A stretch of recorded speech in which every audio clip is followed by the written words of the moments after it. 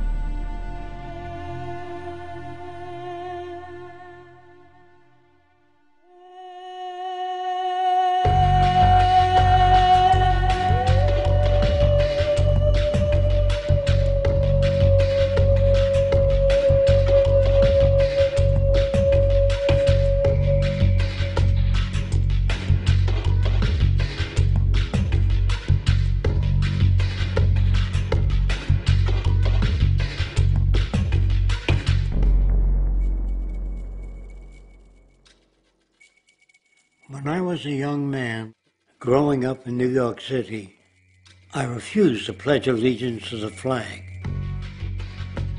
Of course, I was sent to the principal's office, and he asked me, Why don't you want to pledge allegiance? Everybody does. I said, Everybody once believed the earth was flat, but that doesn't make it so. I explained that America owed everything it has to other cultures and other nations, and that I would rather pledge allegiance to the earth and everyone on it.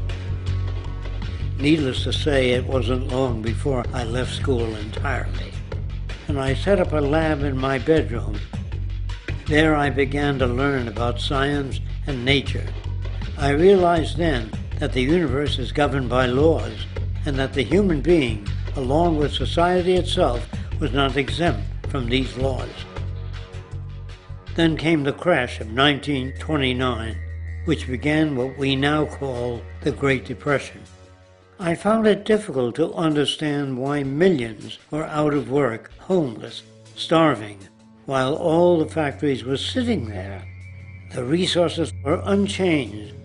It was then that I realized that the rules of the economic game were inherently invalid. Shortly after came World War II, where various nations took turns systematically destroying each other. I later calculated that all the destruction and wasted resources spent on that war could have easily provided for every human need on the planet. Since that time, I have watched humanity set the stage for its own extinction. I have watched as the precious finite resources are perpetually wasted and destroyed in the name of profit and free markets. I have watched the social values of society be reduced into a base artificiality of materialism and mindless consumption. And I have watched as the monetary powers control the political structure of supposedly free societies. I'm 94 years old now, and I'm afraid my disposition is the same as it was 75 years ago. This shit's got to go.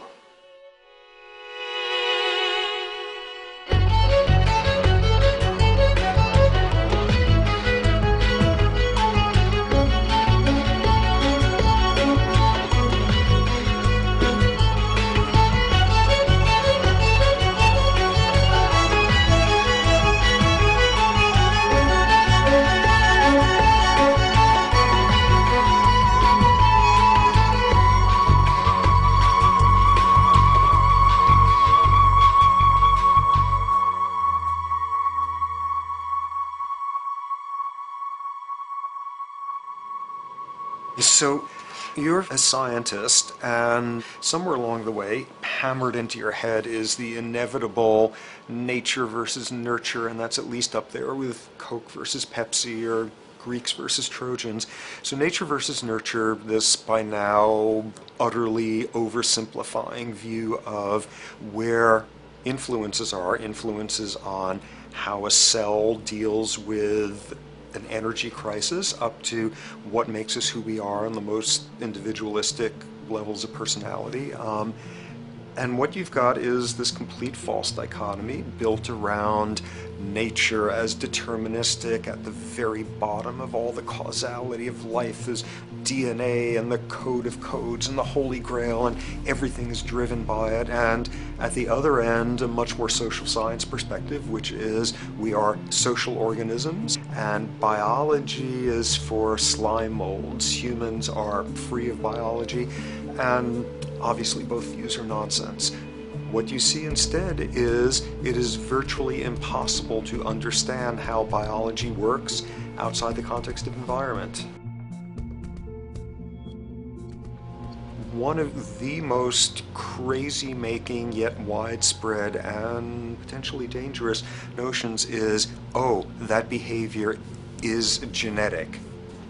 Now, what does that mean? It means all sorts of subtle stuff if you sort of know modern biology, but for most people out there, what it winds up meaning is ah, a deterministic view of life, one rooted in biology and genetics, genes equal things that can't be changed.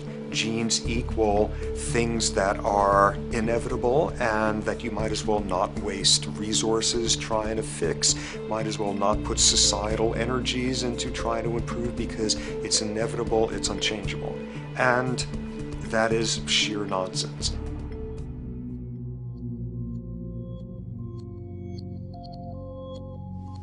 It is widely thought that uh, conditions like ADHD are genetically programmed, conditions like schizophrenia are genetically programmed.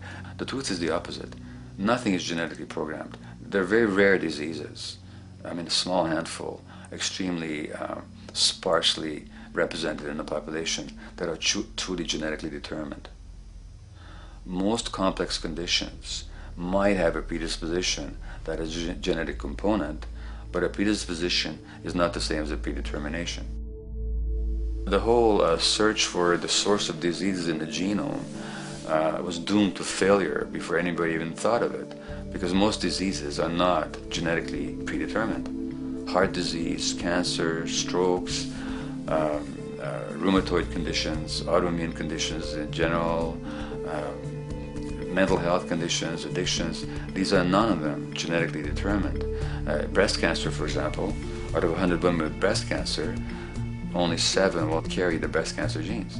93 do not. And out of 100 women who do have the genes, not all of them will get cancer.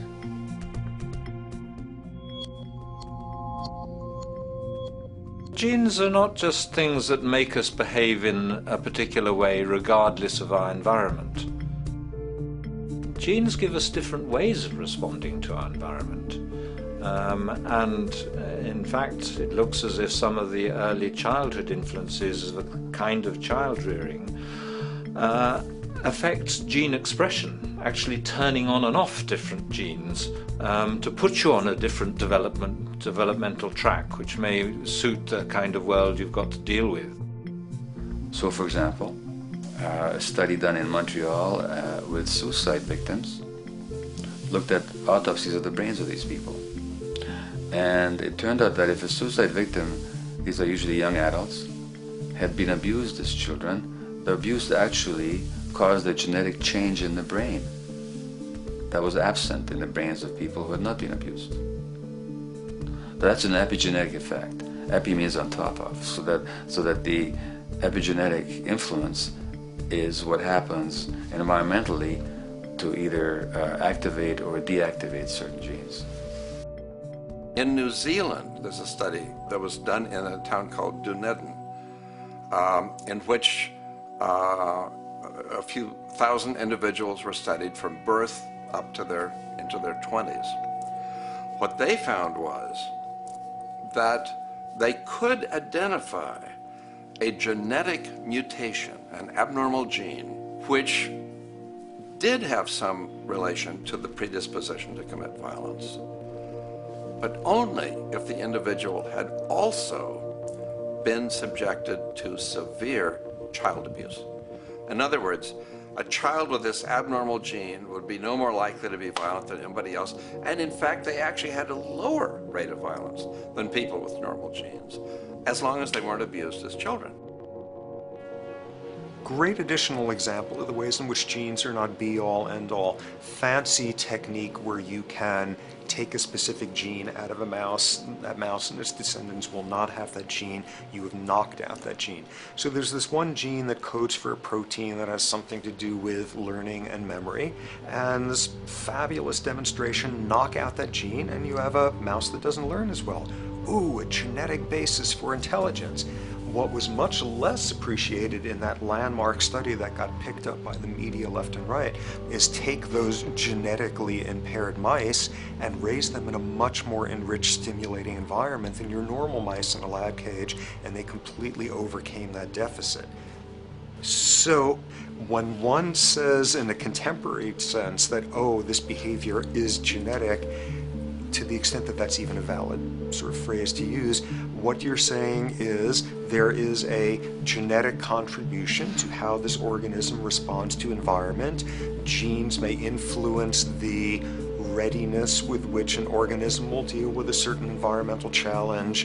You know, that's not the version most people have in their minds, and not to be too soapboxing, but run with the old sort of version of it's genetic and it's not that far from a history of eugenics and things of that sort. Um, it's a widespread misconception and it's a potentially fairly dangerous one.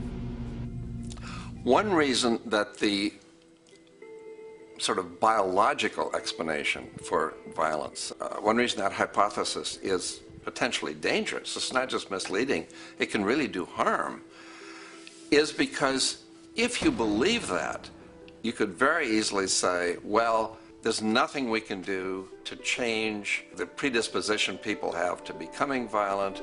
All we can do if somebody becomes violent is punish them, you know, lock them up or execute them. But we don't need to worry about changing the social environment or the social preconditions that may lead people to become violent because that's irrelevant. The genetic argument allows us the luxury of ignoring past and present historical and social factors. And in the words of uh, Louis Menand, he wrote in the New Yorker very astutely, he said, it's all in the genes, an explanation for the way things are that does not threaten the way things are. Why should someone feel unhappy or engage in antisocial behavior when that person is living in the freest and most prosperous nation on earth? It can't be the system. There must be a flaw in the wiring somewhere, which is a good way of putting it. So the genetic argument is simply a cop-out, uh, which allows us to ignore the social and uh, economic and political factors that in fact underlie um, many uh, troublesome behaviors.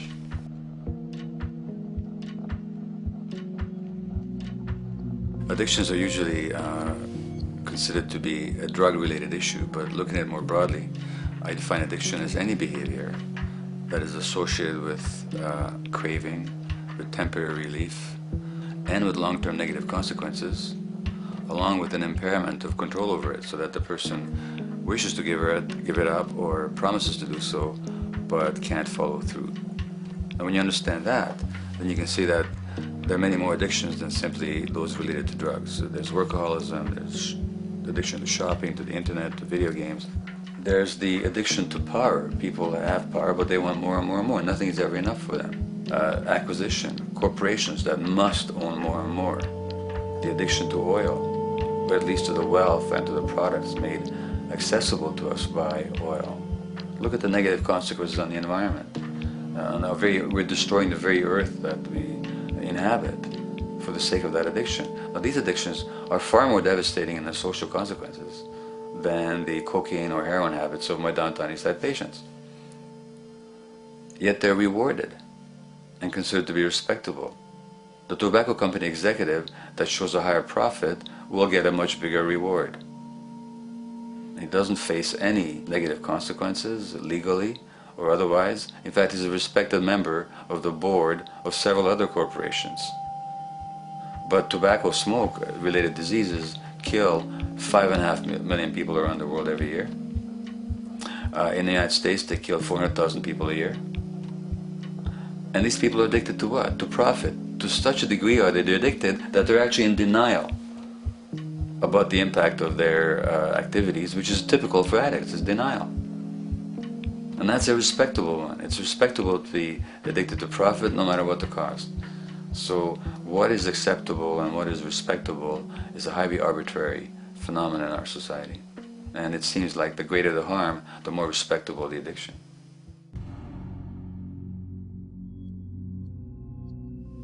There's a general myth that drugs in themselves are addictive. In fact, the war on drugs is predicated on the idea that if you interdict the sources of drugs, you can deal with addiction that way. Now, um, if we understand addiction in a broader sense, we see that nothing in itself is addictive.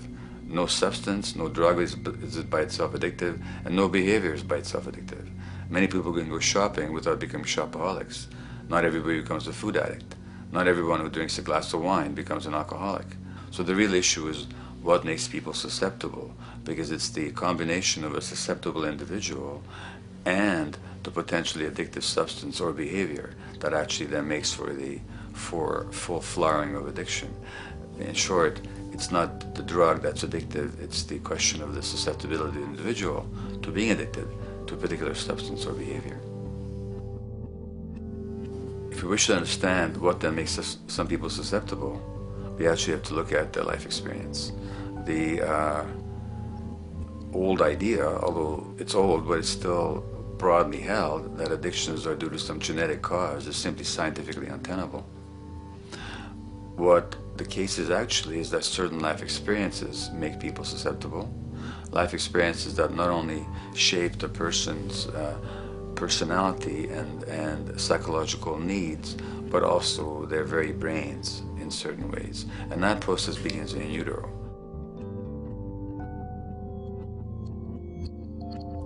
It's been shown, for example, that if you stress mothers during pregnancy, their children are more likely to have traits that predispose them to addictions. And that's because uh, development is shaped by the psychological and social environment. So the biology of human beings is very much affected by and um, programmed by their life experiences beginning in utero. Environment does not begin at birth. Environment begins as soon as you have an environment. As soon as you're a fetus, you are subject to whatever information is coming through mom's circulations, hormones, levels of nutrients. Great landmark example of this, something called the Dutch hunger winter.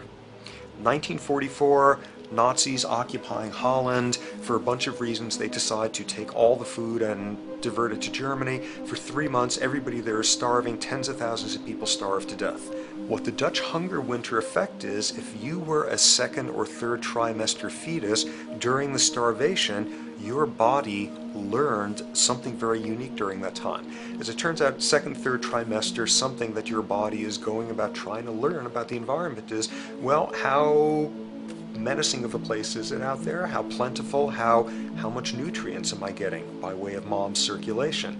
Be a fetus who is starving during that time and your body programs forever after to be really, really, really stingy with your sugar and fat and, and what you do is you store every bit of it be a Dutch hunger winter fetus, and half a century later, everything else being equal, you are more likely to have high blood pressure, obesity, or metabolic syndrome.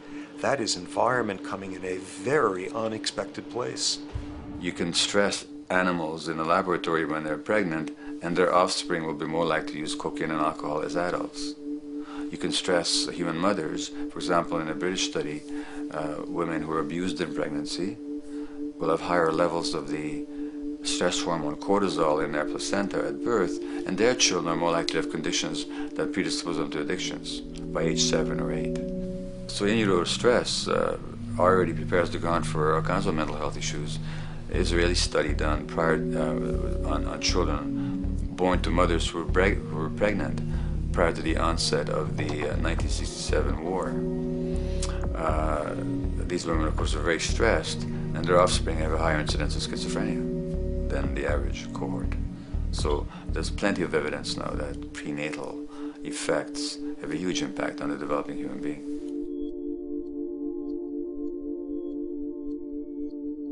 The point about human development, and specifically human brain development, is that it occurs mostly under the impact of the environment and mostly after birth. Now, if you compare us to a horse, uh, which can run on the first day of life, we see that we are very undeveloped. We can't develop, we can't uh, muster that much neurological coordination, balance, muscle strength, visual acuity until a year and a half, two years. And that's because the brain development that in the horse happens in the safety of the womb, in a human being has to happen after birth. And that has to do with simple evolutionary logic as the head gets larger, which is what makes us into human beings. The burgeoning of the forebrain is what creates the, human species, actually. Um, at the same time, we walk on two legs, so our pelvis narrows to accommodate that. So now we have a narrower pelvis, a larger head. Bingo, we have to be born prematurely. And that means that the brain development that in other animals occurs in utero, in us, occurs after birth. And much of that under the impact of the environment. And um, the concept of neural Darwinism simply means that the circuits that get the appropriate input from the environment will develop optimally, and the ones that don't will either not develop optimally or perhaps not at all. If you take a child with perfectly good eyes at birth and you put him in a dark room for five years, he'll be blind thereafter for the rest of his life because the circuits of vision require light waves for their development. And without that, even the rudimentary circuits present and active at birth will atrophy and die, and new ones will not develop. There's a significant way in which early experiences shape adult behavior, and even and especially early experiences for which there's no recall memory. It turns out that there are two kinds of memory. There is explicit memory, which is recall. This is when you can call back facts, details, episodes, circumstances. But the structure in the brain, which is called the hippocampus, which encodes recall memory, it doesn't even begin to develop fully until a year and a half, and it's not fully developed until much later, which is why hardly anybody has any recall memory prior to 18 months. But there's another kind of memory, which is called implicit memory, which is in fact an emotional memory, where the emotional impact and the interpretation that the child makes of those emotional experiences is ingrained in the brain in the form of nerve circuits ready to fire without specific recall. So to give you a clear example, people who are adopted have a lifelong sense of rejection very often. They can't recall the adoption, they can't recall the separation of a birth mother because there's nothing there to recall with. But the emotional memory of separation and rejection is deeply embedded in their brains. Hence, they're much more likely to experience a sense of rejection and a great emotional upset when they perceive themselves as being rejected than other people. That's not unique to people who are adopted, but it's particularly strong in them because of this function of implicit memory. People who are addicted, given that they, according to all the research literature, certainly in my experience, the hardcore addicts all, uh, virtually were all uh, significantly abused as children or suffered severe emotional loss, their emotional or implicit memories are those of a world that's not safe and not, not helpful, caregivers who are not to be trusted, and relationships that are not uh, safe enough to open up to vulnerably. And hence their responses tend to be to keep themselves separate from really intimate relationships, uh, not to trust caregivers, doctors and other people who are trying to help them, and generally see the world as an unsafe place. And that's strictly a function of implicit memory, which sometimes has to do with incidents they don't even recall.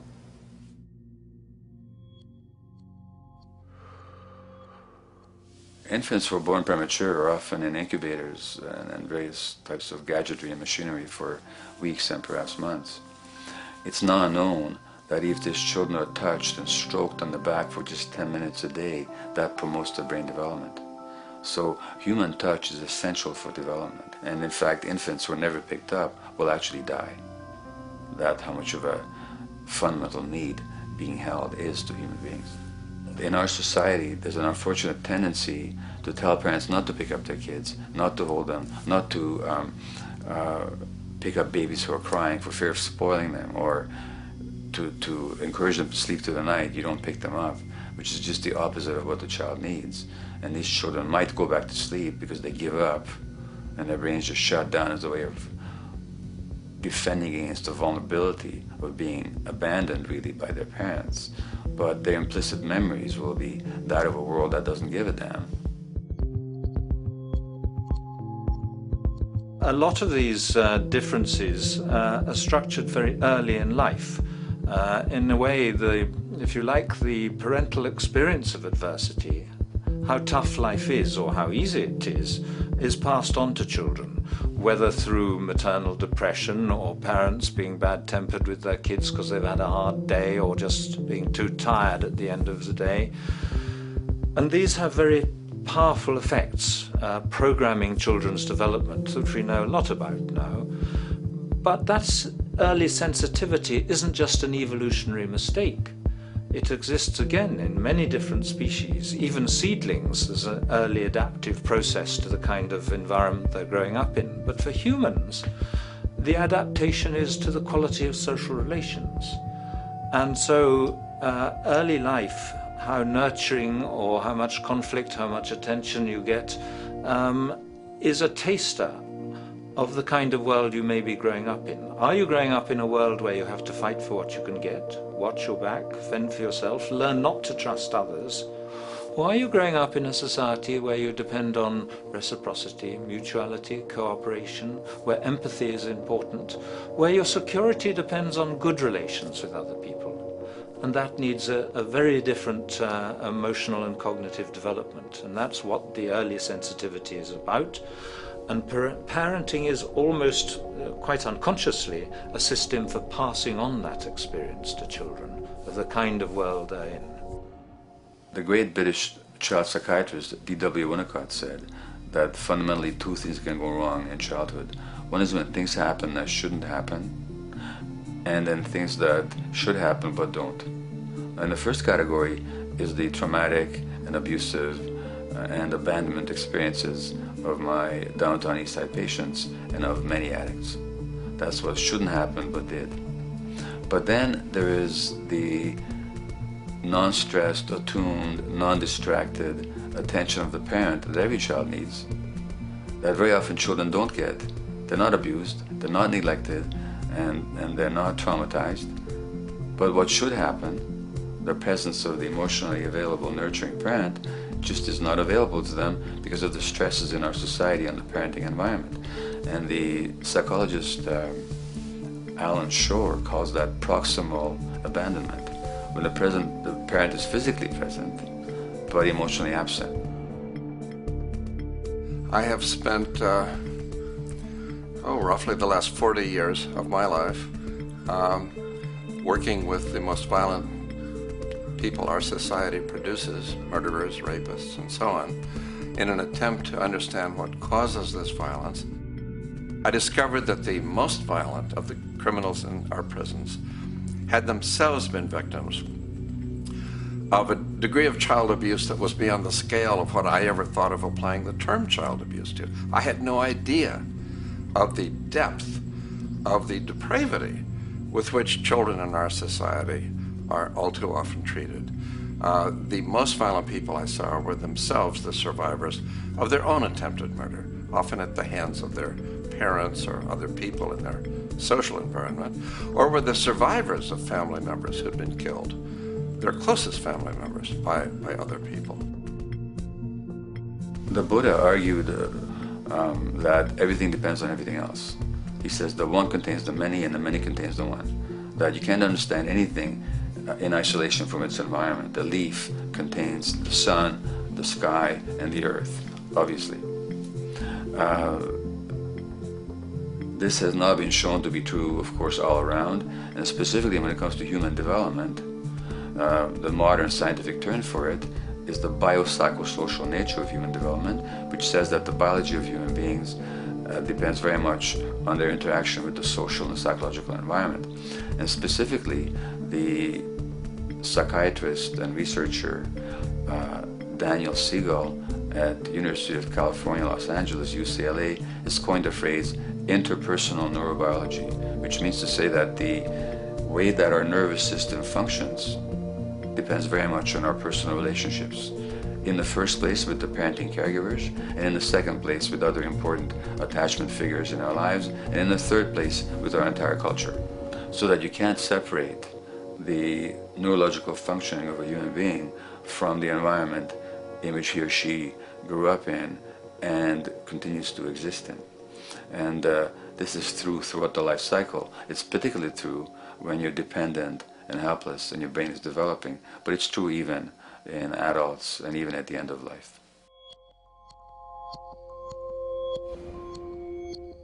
Human beings have lived in almost every kind of society, from uh, the most egalitarian, um, hunting and gathering societies seem to have been very egalitarian, for instance, based on food sharing, gift exchange. Small bands of people living predominantly off of foraging, um, but a little bit of hunting. Predominantly among people you have at the least known your entire life, if not surrounded by third cousins or closer, in a world in which there is a great deal of fluidity between different groups, in a world in which there is not a whole lot in terms of material culture, this is how humans have spent most of their hominid history.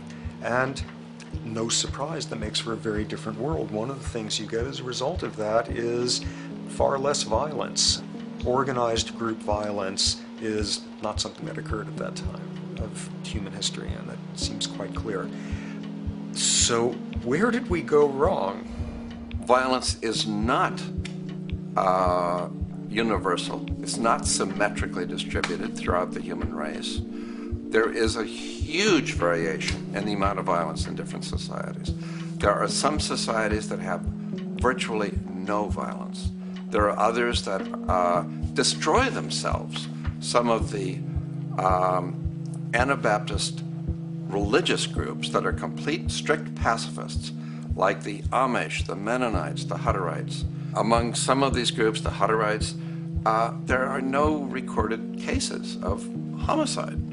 Um, uh, during uh, uh our major wars, like World War II, where people were being drafted, they would refuse to serve in the military. They would go to prison rather than serve in the military.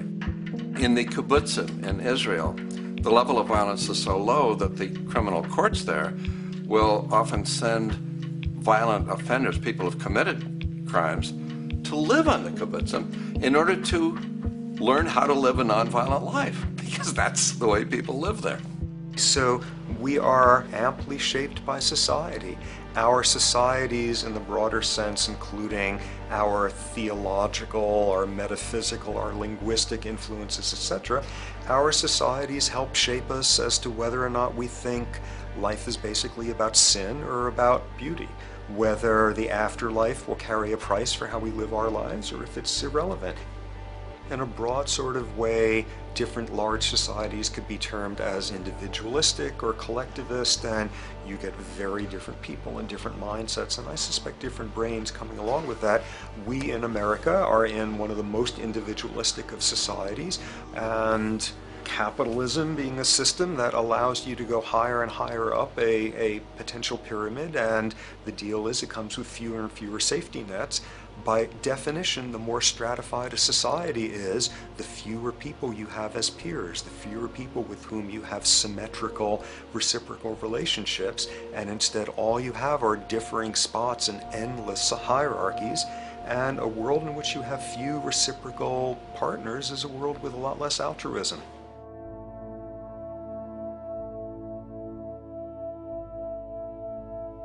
Alright, so this brings us to a total impossible juncture, which is to try to make sense in uh, perspective science as to what the nature is of human nature. You know, on a certain level, the nature of our nature is not to be con particularly constrained by our nature. Um, we come up with more social variability than any species out there, more systems of belief, of styles of family structures, of ways of raising children. The capacity for variety that we have is extraordinary. In a society which is predicated on competition and uh, really very often the ruthless exploitation of one human being by another, the profiteering of other people's problems, and very often the creation of problems for the purpose of profiteering. The ruling ideology will very often justify that behavior by appeals to some fundamental and unalterable human nature. So the myth in our society is that people are competitive by nature and that they're individualistic and that they're selfish. The real uh, reality is quite the opposite. We have certain human needs. The only way that you can talk about human nature concretely is by recognizing that there's certain human needs. We have a human need for companionship and for close contact, to be loved, to be attached to, to be accepted, to be seen, to be received for who we are. If those needs are met, we, we develop into people who are compassionate and cooperative and, um, and who have empathy for other people. So the opposite that we often see in our society is in fact the distortion of human nature precisely because so few people have their needs met. So yes, you can talk about human nature, but only in the sense of basic human needs that are instinctively evoked, or I should say certain human needs that lead to certain traits if they are met, and a different set of traits if they're denied. So, when we recognize the fact that the human organism, which has a great deal of adaptive flexibility, allowing us to survive in many different conditions, is also rigidly programmed for certain environmental requirements or human needs, a social imperative begins to emerge. Just as our bodies require physical nutrients, the human brain demands positive forms of environmental stimulus at all stages of development, while also needing to be protected from other negative forms of stimulus. And if things that should happen do not, or if things that shouldn't happen do, it is now apparent that the door can be opened for not only a cascade of mental and physical diseases, but many detrimental human behaviors as well. So, as we turn our perspective now outward and take account for the state of affairs today, we must ask the question Is the condition we have created in the modern world actually supporting our health? Is the bedrock of our socioeconomic system acting as a positive force for human and social development and progress? Or is the foundational gravitation of our society actually going against the core evolutionary requirements needed to create and maintain our personal and social well-being?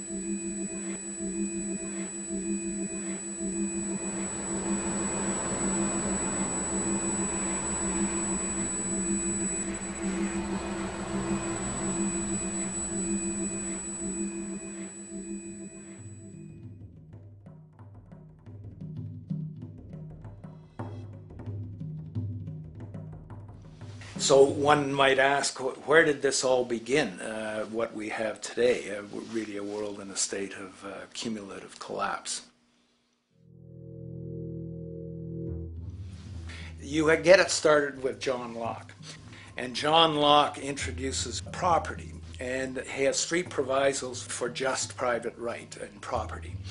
And the three provisos are that there must be enough left over for others and that you must not let it spoil and that you, most of all, must mix your labor with it seems justified. You mix your labor with the world, then you're entitled to the product, and as long as there's enough left over for others, uh, and as long as it doesn't spoil, you don't allow anything to go to waste, that's okay. Well, he spends a long time of his famous treatise of government, and it's since been the canonical text for economic and political and legal understanding, is still a classic text of study. Well, what he did is, it, after he gives the provisos, and you're almost thinking at the time whether you're for private property or not, he's given a very, a very good and plausible and powerful defense of private property here. Well, he drops them. He drops them like that, right in one sentence. He says, well, once the introduction of money came in by men's tacit consent, then it became, and he doesn't say all the provisos are ca- canceled, erased, but that's what happens. So now we have not product and your property earned by your own labor. Oh no, money buys labor. There's no longer consideration of whether there's enough left over for others. There's no longer consideration of whether it spoils because he says, well, money's like silver and gold, and gold can't spoil, therefore monies can't be uh, responsible for waste which is ridiculous. We're not talking about money and, and silver, we're talking about what its effects are. It's one non sequitur after another. Just the most uh, startling. Uh, logical legerdemain that he, he gets away with here. But it fits the interests of capital owners. Then Adam Smith comes along, and what he adds is the religion to this. Locke started with God made it all this way. This is God's right.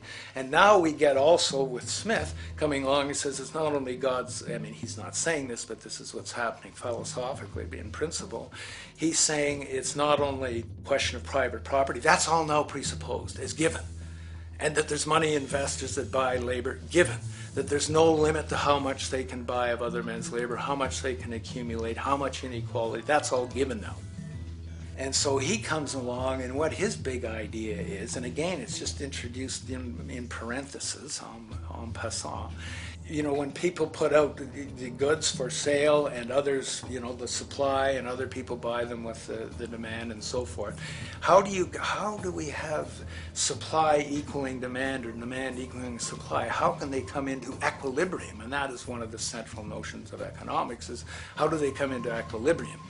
And he says it's the invisible hand of the market that brings them into equilibrium. So now we have God is actually immanent. He just didn't give the rights to property and how uh, you know all its wherewithal and uh, its natural rights of uh, doing all that Locke said. Now we have the system itself as God. In fact, Smith says when he talks, and you'll never find this quoted, you have to read the whole of the uh, inquiry into the wealth of nations. He says, The scantiness of subsistence sets limits to the reproduction of the poor, and that uh, nature can deal with this in no other uh, way than elimination of their children. So he anticipated evolutionary theory in the worst sense. Uh, apply, this is well before Darwin. And so he, he called them the race of laborers. So you can see there was inherent racism built in here. There was an, inherent acceptance, life blindness to kill innumerable children.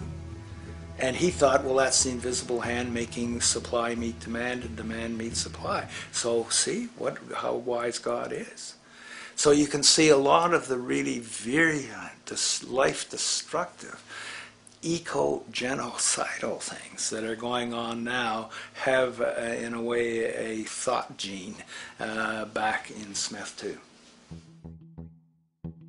When we reflect on the original concept of the so called free market capitalist system, as initiated by early economic philosophers such as Adam Smith, we see that the original intent of a market was based around real, tangible, life supporting goods for trade. Adam Smith never fathomed that the most profitable economic sector on the planet would eventually be in the arena of financial trading or so called investment where money itself is simply gained by the movement of other money in an arbitrary game which holds zero productive merit to society. Yet, regardless of Smith's intent, the door for such seemingly anomalous advents was left wide open by one fundamental tenet of this theory. Money is treated as a commodity in and of itself. Today, in every economy of the world, regardless of the social system they claim, money is pursued for the sake of money and nothing else. The underlying idea, which was mysteriously qualified by Adam Smith with his religious declaration of the invisible hand, is that the narrow, self interested pursuit of this fictional commodity will somehow magically manifest human and social well being and progress. The reality is that the monetary incentive interest, or what some have termed the money sequence of value, has now completely decoupled from the foundational life interest, which could be termed the life sequence of value. What has happened is that there's a complete confusion in economic doctrine uh, between those two sequences. They think that the money sequence of value delivers the life sequence of value, that, and that's why they say if more goods are sold, if GDPs rise, and so forth, therefore there'll be more well-being, enhanced well-being. We take the GDP to be our, basically our indicator of social health. Well, there you see the confusion. It's talking about money sequences of value, that is all the receipts, all the revenues that are derived from selling uh, goods, uh, and they're confusing that with uh, life reproduction so that you have built right into this thing from the beginning is a complete conflation of the money and life sequences of value. So we're dealing with a kind of uh, structured delusion that becomes more and more deadly as the money sequence decouples from producing anything at all. So it's a system disorder, and the system disorder seems to be fatal.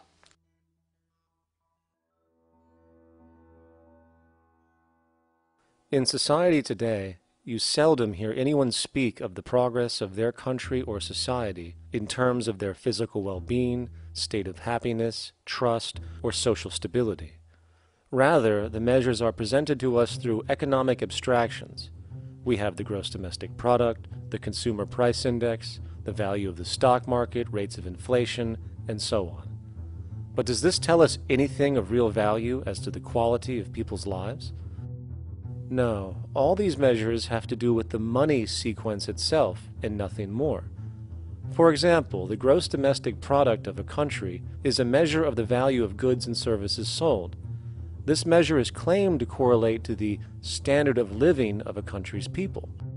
In the United States, healthcare accounted for over 17% of GDP in 2009, amounting to over 2.5 trillion spent, hence creating a positive effect on this economic measure. And based on this logic, it would be even better for the US economy if healthcare services increased more so, perhaps to $3 trillion or 5 trillion, since that would create more growth, more jobs, and hence boasted by economists as a rise in their country's standard of living. But wait a minute, what do healthcare services actually represent? Well, sick and dying people. That's right, the more unhealthy people there are in America, the better the economy. Now, that is not an exaggeration or a cynical perspective. In fact, if we step back far enough, you will realize that the GDP not only doesn't reflect real public or social health on any tangible level, it is, in fact, mostly a measure of industrial inefficiency and social degradation. And the more you see it rise, the worse things are becoming with respect to personal, social, and environmental integrity. You have to create problems to create profit. There is no profit under the current paradigm uh, in saving lives, putting balance on this planet, having justice uh, and peace or anything else. There's just no profit there.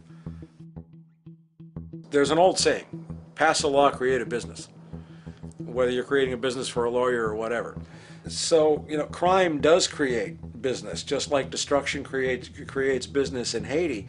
We have now roughly 2 million people in, incarcerated in this country, and of those, many of them are in prisons run by private corporations, Corrections Corporation of America, Wackenhut, who trade their stock on Wall Street based upon how many people are in jail.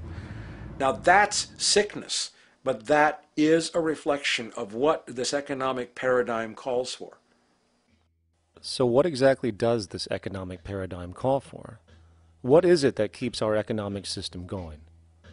consumption, or more accurately, cyclical consumption. When we break down the foundation of classic market economics, we are left with a pattern of monetary exchange that simply cannot be allowed to stop or even substantially slowed if the society as we know it is to remain operational. There are three main actors on the economic stage the employee, the employer, and the consumer. The employee sells labor to the employer for income. The employer sells its production services and hence goods to the consumer for income. And the consumer, of course, is simply another role of the employer and employee, spending back into the system to enable the cyclical consumption to continue. In other words, the global market system is based on the assumption that there will always be enough product demand in society to move enough money around at a rate which can keep the consumption process going. And the faster the rate of consumption, the more so called economic growth is assumed, and so the machine goes. But hold on. I thought an economy was meant to, I don't know, economize? Doesn't the very term have to do with preservation and efficiency and a reduction of waste? So, how does our system, which demands consumption and the more the better, efficiently preserve or economize at all? Well, it doesn't. The intent of the market system is, in fact, the exact opposite of what a real economy is supposed to do, which is efficiently and conservatively orient the materials for production and distribution of life supporting goods. We live on a finite planet with finite resources, where, for example, the oil we utilize took millions of years to develop, where the minerals we use took billions of years to develop. So, having a system that deliberately promotes the acceleration of consumption for the sake of so called economic growth is pure ecocidal insanity. Absence of waste, that's what efficiency is. Absence of waste. This system is more wasteful than all the other existing systems in the history of the planet. Every level of life organization and life system is in a state of crisis and challenge and decay or collapse. No peer reviewed journal in the last 30 years uh, will tell you anything different. That is, that every life system is in decline as well as social programs, as well as our water access. Try to name any means of life that isn't threatened and in danger. You can't. There isn't, there really isn't one, and that's very, very despairing. But we haven't even figured out the causal mechanism. We don't want to face the causal mechanism. We just want to go on, you know, that's what insanity is, where you keep doing the same thing over and over again, though it clearly doesn't work. So you're really dealing with not an economic system, but I would go so far as to say an anti economic system. There's an old saying that the competitive market model seeks to create the best possible goods at the lowest possible prices. This statement is essentially the incentive concept, which justifies market competition based on the assumption that the result is the production of higher quality goods. If I was going to build myself a table from scratch, I would naturally build it out of the best, most durable materials possible, right? With the intent for it to last as long as possible. Why would I want to make something poor, knowing I would have to eventually do it again and expend more materials and more energy? Well, as rational as that may seem in the physical world, when it comes to the market world, it is not only explicitly irrational, it is not even an option. It is technically impossible to produce the best of anything if a company is to maintain a competitive edge and hence remain affordable to the consumer. Literally everything created and set for sale in the global economy is immediately inferior the moment it is produced, for it is a mathematical impossibility to make the most scientifically advanced, efficient, and strategically sustainable products. This is due to the fact that the market system requires that cost efficiency, or the need to reduce expenses, exist at every stage of production, from the cost of labor to the cost of materials and packaging, and so on. This competitive strategy, of course, is to make sure the public buys their goods rather than from a competing producer, which is doing the exact same thing to also make their goods both competitive and affordable. This immutably wasteful consequence of the system could be termed intrinsic obsolescence. However, this is only one part of a larger problem. A fundamental governing principle of market economics one that you will not find in any textbook, by the way, is the following. Nothing produced can be allowed to maintain a lifespan longer than what can be endured in order to continue cyclical consumption. In other words, it is critical that stuff break down, fail, and expire within a certain amount of time. This is termed planned obsolescence. Planned obsolescence is the backbone of the underlying market strategy of every goods producing corporation in existence. While very few, of course, would admit to such a strategy outright, what they do is mask it within the intrinsic obsolescence phenomenon just discussed, while often ignoring or even suppressing new advents in technology which might create a more sustainable, durable good. So, if it wasn't wasteful enough that the system inherently cannot allow the most durable and efficient goods to be produced, planned obsolescence deliberately recognizes that the longer any good is in operation, the worse it is for sustaining cyclical consumption and hence the market system itself. In other words, product sustainability is actually inverse to economic growth, and hence there is a direct reinforced incentive to make sure lifespans are short of any given good produced. And in fact, the system cannot operate any other way. One glance at the sea of landfills now spreading across the world show the obsolescence reality.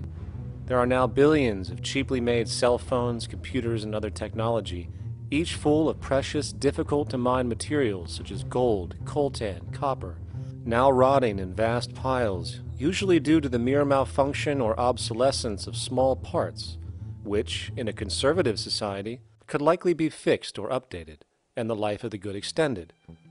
Unfortunately, as efficient as that may seem in our physical reality, living on a finite planet with finite resources, it is explicitly inefficient with respect to the market.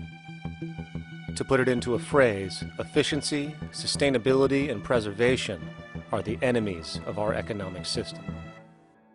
Likewise, just as physical goods need to be constantly produced and reproduced, regardless of their environmental impact, the service industry operates with an equal rationale. The fact is, there is no monetary benefit to resolving any problems which are currently being serviced At the end of the day, the last thing the medical establishment really wants is the curing of diseases such as cancer, which would eliminate countless jobs and trillions in revenue. And since we're on the subject, crime and terrorism in this system are good. Well, at least economically, for it is employing police, generating high value commodities for security, not to mention the value of prisons that are privately owned for profit. And how about war? The war industry in America is a huge driver of GDP, one of the most profitable industries, producing weapons of death and destruction. The favorite game of this industry is to blow things up and then go and rebuild them for profit. We saw this with the windfall billion dollar contracts made from the Iraq War. The bottom line is that socially negative attributes of society have become positively rewarded ventures for industry, and any interest in problem resolution or environmental sustainability and conservation is intrinsically counter to economic sustainability. And this is why every time you see the GDP rise in any country, you are witnessing an increase in necessity, whether real or contrived. And by definition, a necessity is rooted in inefficiency. Hence, increased necessity means increased inefficiency. The American dream is based on rampant consumerism. It, it is based upon the fact that mainstream media and especially commercial advertising, uh, all corporations who need this infinite growth have convinced us or brainwashed uh, most people in America and hence the world that uh, we have to have X number of material possessions and the possibility of gaining in infinitely more material possessions in order to be happy. That's just not true. So how why do people continue to to buy in this way, which is ultimately eco-genocidal in its systemic effects cumulatively? And it just is classical operant conditioning. You simply put inputs of conditioning into the organism, and you have outputs of uh, desired behaviors or goals or objectives. And it has all the resources of technology and they boast about how they get into the minds of infants. What they hear uh, is already making them conditioned to the brand. Then you see, well, that's how uh, people have been such fools. In a way, they've been taught to be fools. It's a value system disorder. You know, if there is any testament to the plasticity of the human mind, if there is any proof to how malleable human thought is and how easily conditioned and guided people can become based on the nature of their environmental stimulus and what it reinforces, the world of commercial advertising is the proof. You have to stand in awe at the level of brainwashing where these programmed robots known as consumers wander the landscape only to walk into a store and spend, say, $4,000 on a handbag that likely cost $10 to make in a sweatshop overseas, only for the brand status it supposedly represents in the culture. Or perhaps the ancient communal traditions which increase trust and cohesiveness in society, which have now been hijacked by acquisitive, materialistic values, where now annually we exchange useless crap a few times a year. And we might wonder why so many today have a compulsion to shopping and acquisition, when it is clear that they have been conditioned from childhood to expect material goods as a sign of their status with friends and family. The fact is, the foundation of any society are the values that support its operation, and our society, as it exists, can only operate if our values support the conspicuous consumption it requires to continue the market system. 75 years ago, consumption in America and much of the First World was half of what we see today per person. Today's new consumer culture has been manufactured and imposed due to the very real need for higher and higher levels of consumption. And this is why most corporations now spend more money on advertising than the actual process of product creation itself. They work diligently to create a false need for you to fill and it happens to work. you know, economists are in fact not economists at all. They're propagandists of uh, money value. And uh, you'll find that all their models basically get down to token exchanges that uh, are to the profit of one side or both sides or whatever, but they're completely disconnected from the actually existing world of reproduction. Um, in Ohio, an old man failed to pay his electric bill. You may be familiar with the case. And the electric company turned off the electricity and he died. The reason they turned it off was because it wouldn't have been profitable for them to keep it on because he didn't pay his bill. Do you believe that was right? The responsibility really lies not on the electric company for turning it off, but on those of this man's neighbors and friends and associates who are not charitable enough to enable him as an individual to meet the electric bill. Hmm. Did I hear that right? Did he just say the death of a man caused by not having money was the responsibility of other people? Or in effect, charity? well, then, I guess we're going to need a whole lot of infomercials, uh, little miserable coin slot donations for bodega counters, and a bunch of pickle jars for the billion people now starving to death on this planet because of the very system Milton Friedman promotes.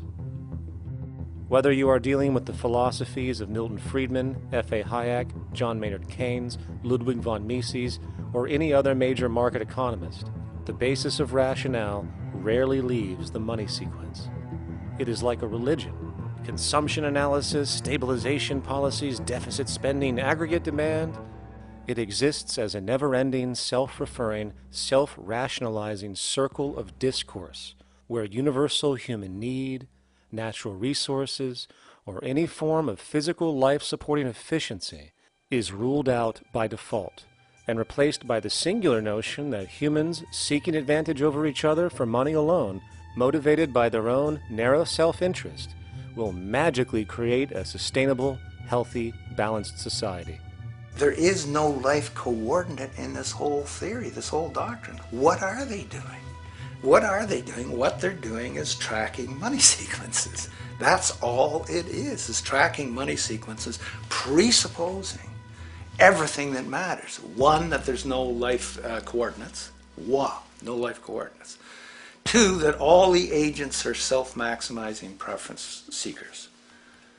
That is, they think of nothing other than themselves and what they can get most for themselves. That, that note, that's the notion, that's the ruling notion of rationality self-maximizing choice. And, and, the only thing that they're interested in self-maximizing is money or commodities. Well, where does social relations come in? It doesn't except in the exchange to self-maximize. Where do our natural resources come in? They don't except to exploit. Where does the family come in as being able to survive? It doesn't. Uh, they have to have money in order to purchase any Good. Well, shouldn't an economy deal somewhere with human need? Isn't that what the fundamental issue is to satisfy uh, uh, human needs? Oh, need isn't even in your lexicon. Uh, you dissolve it into wants. And what is a want? That means money demand that wants to buy. Well, if it's money demand and wants to buy, it's got nothing to do with need because it may be the person has no money demand and desperately needs, say, water supply. Or it may be money demand wants a gold toilet seat. Well, where does it all go? To the gold toilet seat. And you call this economics? Like it's really, when one thinks of it, it's got to be the most bizarre uh, delusion in the history of human thought. Now, so far we have focused on the market system, but this system is actually only one half of the global economic paradigm. The other half is the monetary system. While the market system deals with the interaction of people gaming for profit across the spectrum of labor, production, and distribution, the monetary system is an underlying set of policies set by financial institutions which create conditions for the market system, among other things. It includes terms we often hear, such as interest rates, loans, debt, the money supply, inflation, etc. And while you might want to pull your hair out listening to the gibberish coming from the monetary economists, modest preemptive actions can obviate the need of more drastic actions at a later date. The nature and effect of this system is actually quite simple. Our economy has, or the global economy has, three basic things that govern it. One is fractional reserve banking, but banks printing money out of nothing. It's also based upon compound interest. When you borrow money, you have to pay back more than you borrowed, which means that you, in effect, create money out of thin air, again, which has to be serviced by creating still more money. We live in an infinite growth paradigm. The economic uh, paradigm we live in now is, is a Ponzi scheme. It's nothing grows forever. It's not possible. As a great uh, psychologist James Hillman wrote, the only thing that grows in a human body after a certain age is cancer. It's not just the amount of money that has to keep growing, it's the amount of consumers. Consumers to borrow money at interest to generate more money, and obviously that's not possible on a finite planet. People are basically vehicles to just create money, which must create more money to keep the whole thing from falling apart, which is what's happening right now. There are really only two things anyone needs to know about the monetary system. One, all money is created out of debt. Money is monetized debt, whether it materialized from treasury bonds, home loan contracts, or credit cards.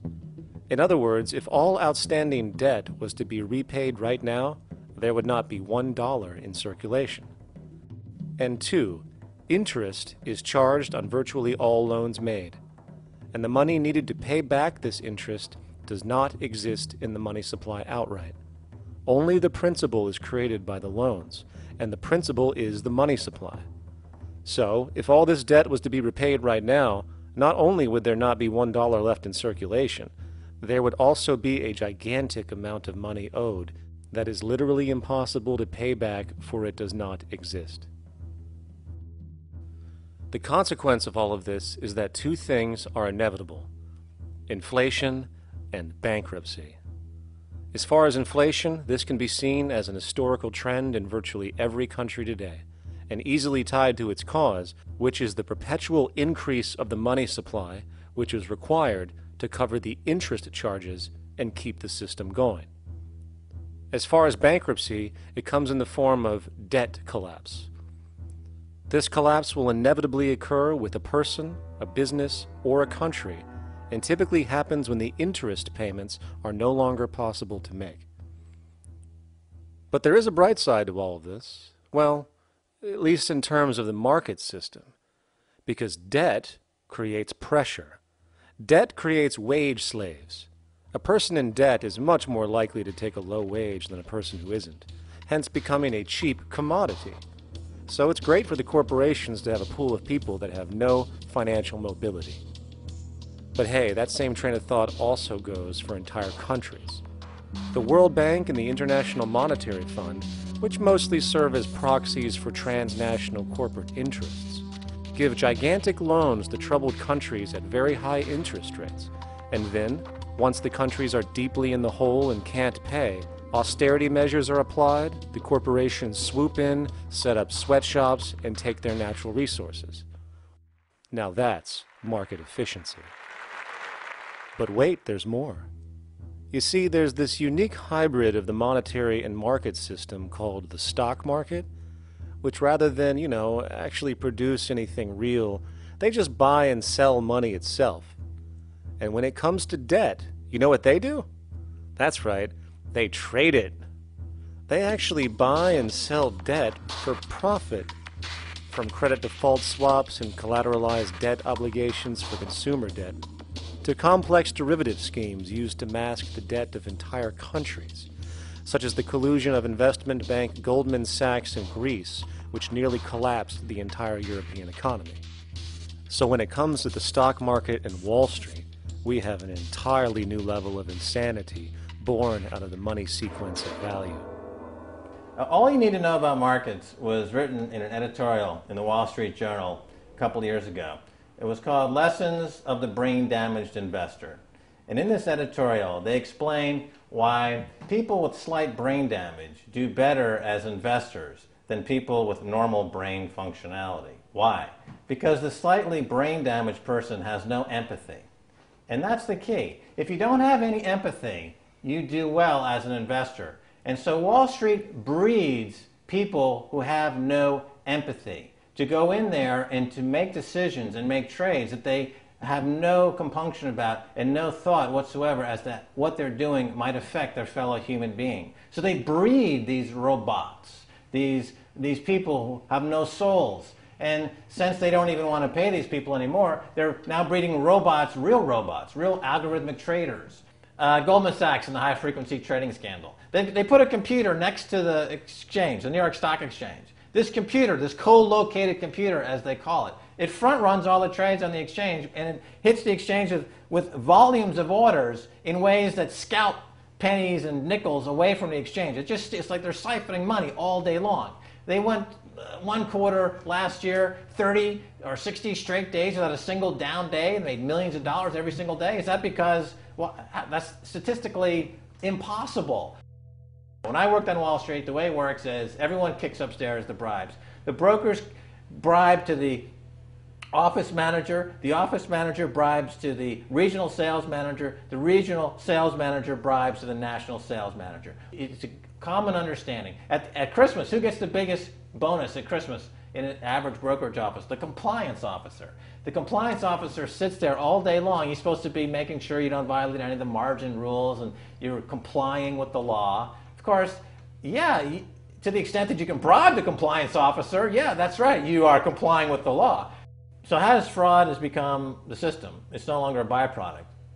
It, it is the system. You know, it, it's like that old Woody Allen joke. He says, "Doctor, my brother thinks he's a chicken," and the doctor says, "Take a pill, and that should cure the problem." And he says, "No, doctor, you don't understand. We need the eggs." Okay, so the trading of fraudulent claims back and forth between banks to generate fees, to generate bonuses, has become the, the GDP producing growth engine of the United States economy. Even though they're essentially trading fraudulent claims that there's absolutely no hope of ever paying back. They're processing and generating and resecuritizing nothing. If I write $20 billion on a cocktail napkin and I sell it to JP Morgan while JP Morgan writes $20 billion on a, a, cocktail napkin, and we swap those two cocktail napkins at a bar, and we each pay ourselves a quarter of 1% in a fee, uh, we make a lot of money for our Christmas bonus. We each have on our books a $20 billion cocktail napkin, which has no real value until such time as the system is no longer able to absorb bogus cocktail napkins, in which case we go to the government to get bailed out. And because of Wall Street and the global stock market, there are now conservatively about $700 trillion of outstanding fraudulent claims known as derivatives, still waiting to collapse, a value amounting to over 10 times the gross domestic product of the entire planet. And while we have seen the bailouts of corporations and banks by governments, which of course comedically borrow their money from banks to begin with, we are now seeing attempts to bail out whole countries by conglomerates of other countries through the international banks. But how do you bail out a planet? There is no country out there that isn't now saturated in debt. The cascade of sovereign debt defaults we have seen can only be the beginning when the math is taken into account. It has been estimated in the United States alone that income tax would need to be raised to 65% per person just to cover the interest in the near future. Economists are now foreshadowing that within a few decades, 60% of the countries on the planet will be bankrupt. But hold on, let me get this straight. The world is going bankrupt, whatever the hell that means, because of this idea called debt, which doesn't even exist in the physical reality. It's only part of a game that we've invented. And yet, the well being of billions of people is now being compromised. Extreme layoffs, tense cities, accelerating poverty, austerity measures imposed, schools shutting down, child hunger, and other levels of familial deprivation, all because of this elaborate fiction. What are we, fucking stupid? Hey, hey, Mars, my man. Help a brother out, huh? Grow up, kid.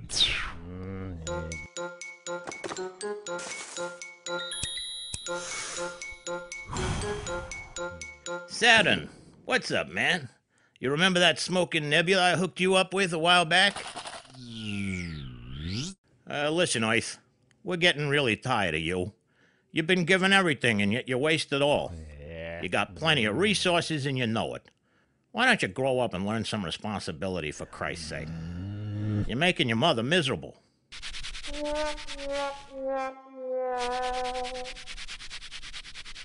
You're on your own, pal. Yeah, whatever.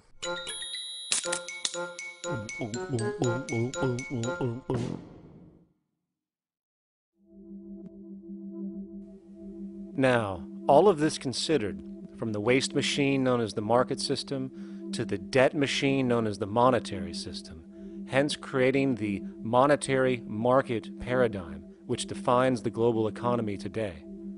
There is one consequence that runs through the entire machine inequality.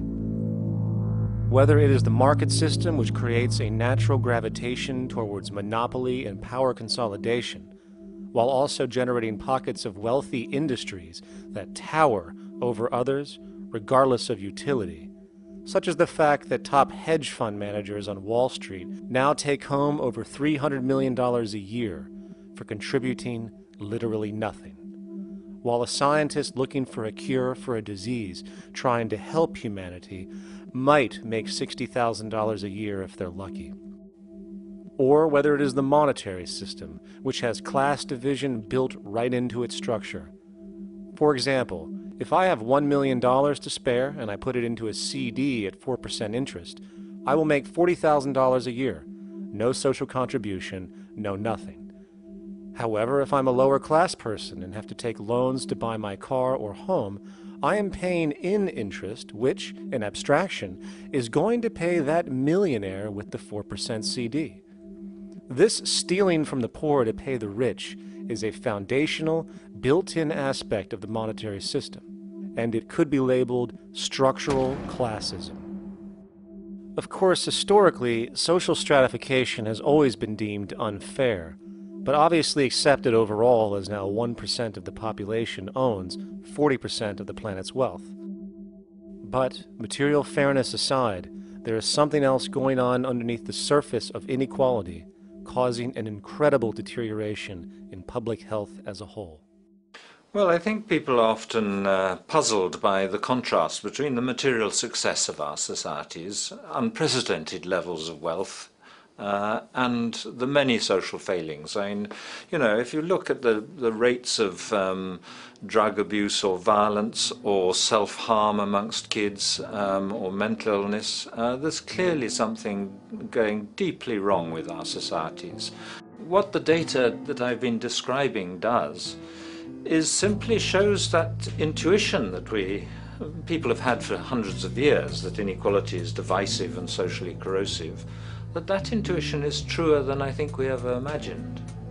There are very powerful psychological and social effects of inequality, more to do, I suppose, with feelings of, uh, of superiority and inferiority, that kind of division, and, and maybe going with the sort of respect, disrespect, people feeling looked down on at the bottom, which, by the way, is why violence is more common in more unequal societies. It's the trigger to violence is so often people feeling looked down on and disrespected. If there is one principle I can emphasize that is the most important principle underlying the prevention of violence, it would be equality. The single most significant factor that affects the rate of violence is the degree of equality versus the degree of inequality in that society. So what one's looking at is a sort of general social dysfunction. Uh, it's not just one or two things that go wrong as inequality increases. It seems to be everything, whether we're talking about crime or health or mental illness or whatever. One of the really disturbing findings out in public health there is never ever make the mistake of being poor. Or being born poor, your health pays for it in endless sorts of ways, something known as the health socioeconomic gradient. As you move down from the highest strata in society in terms of socioeconomic status, every step down, health gets worse for umpteen different diseases. Life expectancy gets worse, infant mortality rate, everything you could look at. So, a huge issue has been why is it that uh, this gradient exists? Totally simple, obvious answer, which is if you are chronically sick, you're not going to be very productive. So health causes drive socioeconomic differences. Not that in the slightest. On the very simple level that you could look at socioeconomic status of a 10 year old, and that's going to predict something about their health decades later. So that's the direction of causality. Next one, what's it about? Oh, it's perfectly obvious. Poor people can't afford to go to the doctor. It's healthcare access. It's got nothing to do with that because you see these same gradients in countries with universal health care, socialized medicine. Okay, next simple explanation. Oh, on the average, the poorer you are, the more likely you are to smoke, to drink, to all sorts of lifestyle risk factor stuff. Yeah, those contribute, but careful studies have shown that explains maybe about a third of the variability. So what's left, and what's left is having a ton to do with the stress of poverty. So the poorer you are, starting off being, you know, the person who's $1 income behind Bill Gates, the poorer you are in this country, on the average, the worse your health is. This tells us something really important. The health connection with poverty, it's not about being poor, it's about feeling poor. Increasingly, we recognize that um, chronic stress is an important influence on health, but the most important sources of stress are the quality of social relations. And if there is anything that lowers the quality of social relations, it is the socioeconomic stratification of society. What science has now shown is that regardless of material wealth, the stress of simply living in a stratified society leads to a vast spectrum of public health problems. And the greater the inequality, the worse they become. Life expectancy, longer in more equal countries, drug abuse, less in more equal countries, mental illness, less in more equal countries, social capital, meaning the ability of people to trust each other, naturally greater in more equal countries, educational scores, higher in more equal countries, homicide rates, less in more equal countries, crime and rates of imprisonment, less in more equal countries, it goes on and on. Infant mortality, obesity, teen birth rate, less and more equal countries. And perhaps most interesting, innovation, greater in more equal countries, which challenges the age old notion that a competitive, stratified society is somehow more creative and inventive. Moreover, a study done in the UK called the Whitehall Study confirmed that there is a social distribution of disease as you go from the top of the socioeconomic ladder to the bottom. For example, it was found that the lowest rungs of the hierarchy had a fourfold increase of heart disease based mortality compared to the highest rungs. And this pattern exists irrespective of access to health care. Hence, the worse a person's relative financial status, the worse their health is going to be on average. This phenomenon is rooted in what could be termed psychosocial stress, and it is at the foundation of the greatest social distortions plaguing our society today. Its cause? The monetary market system. Make no mistake, the greatest destroyer of ecology, the greatest source of waste and depletion and pollution, the greatest purveyor of violence, war, crime, poverty, animal abuse, and inhumanity, the greatest generator of social and personal neuroses, mental disorders, depression, anxiety, not to mention the greatest source of social paralysis, stopping us from moving into new methodologies for personal health, global sustainability, and progress on this planet, is not some corrupt government or legislation not some rogue corporation or banking cartel, not some flaw of human nature, and not some secret hidden cabal that controls the world. It is, in fact, the socio-economic system itself at its very foundation.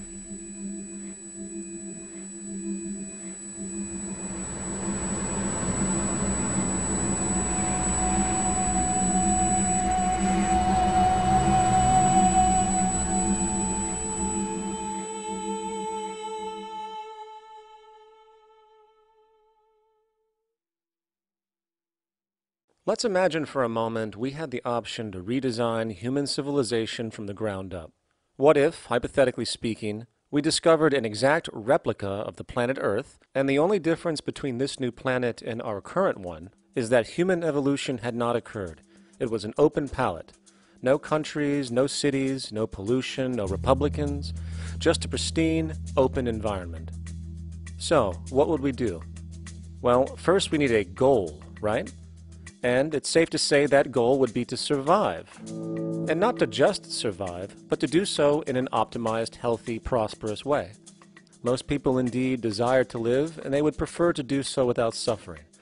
Therefore, the basis of this civilization needs to be as supportive and hence sustainable for human life as possible, taking into account the material needs of all the world's people while trying to remove anything that could hurt us in the long run. That goal of, say, maximum sustainability understood, the next question regards our method. What kind of approach do we take? Well, let's see. Last I checked, politics was the method of social operation on Earth. So, what do the doctrines of the Republicans, liberals, conservatives, or socialists have to say about societal design? Hmm, not a damn thing. Okay, then what about religion? Surely the great creator had to have left some blueprint somewhere. No, nothing I can find. Okay then, so what's left? It appears something called science. Science is unique in that its methods demand not only that the ideas proposed be tested and replicated, but everything science comes up with is also inherently falsifiable. In other words, unlike religion and politics, science has no ego and everything it suggests accepts the possibility of being proven wrong eventually. It holds on to nothing and evolves constantly. Well, that sounds natural enough to me.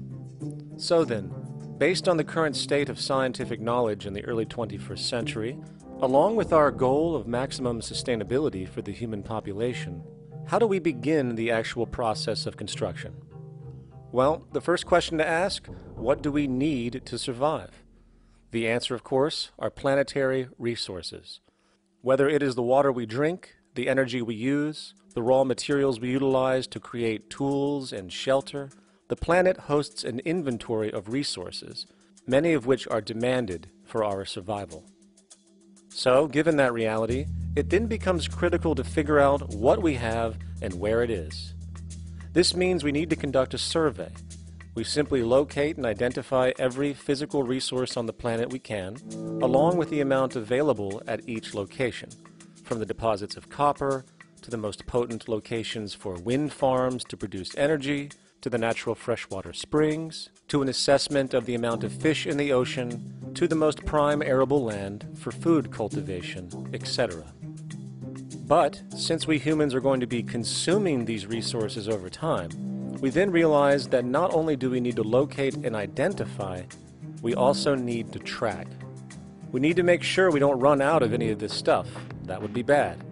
And this means not only tracking our rates of use, but the rates of earthly regeneration as well, such as how long it takes for, say, a tree to grow or a spring to replenish. This is called dynamic equilibrium. In other words, if we use up trees faster than they can be grown back, we have a serious problem, for it is unsustainable.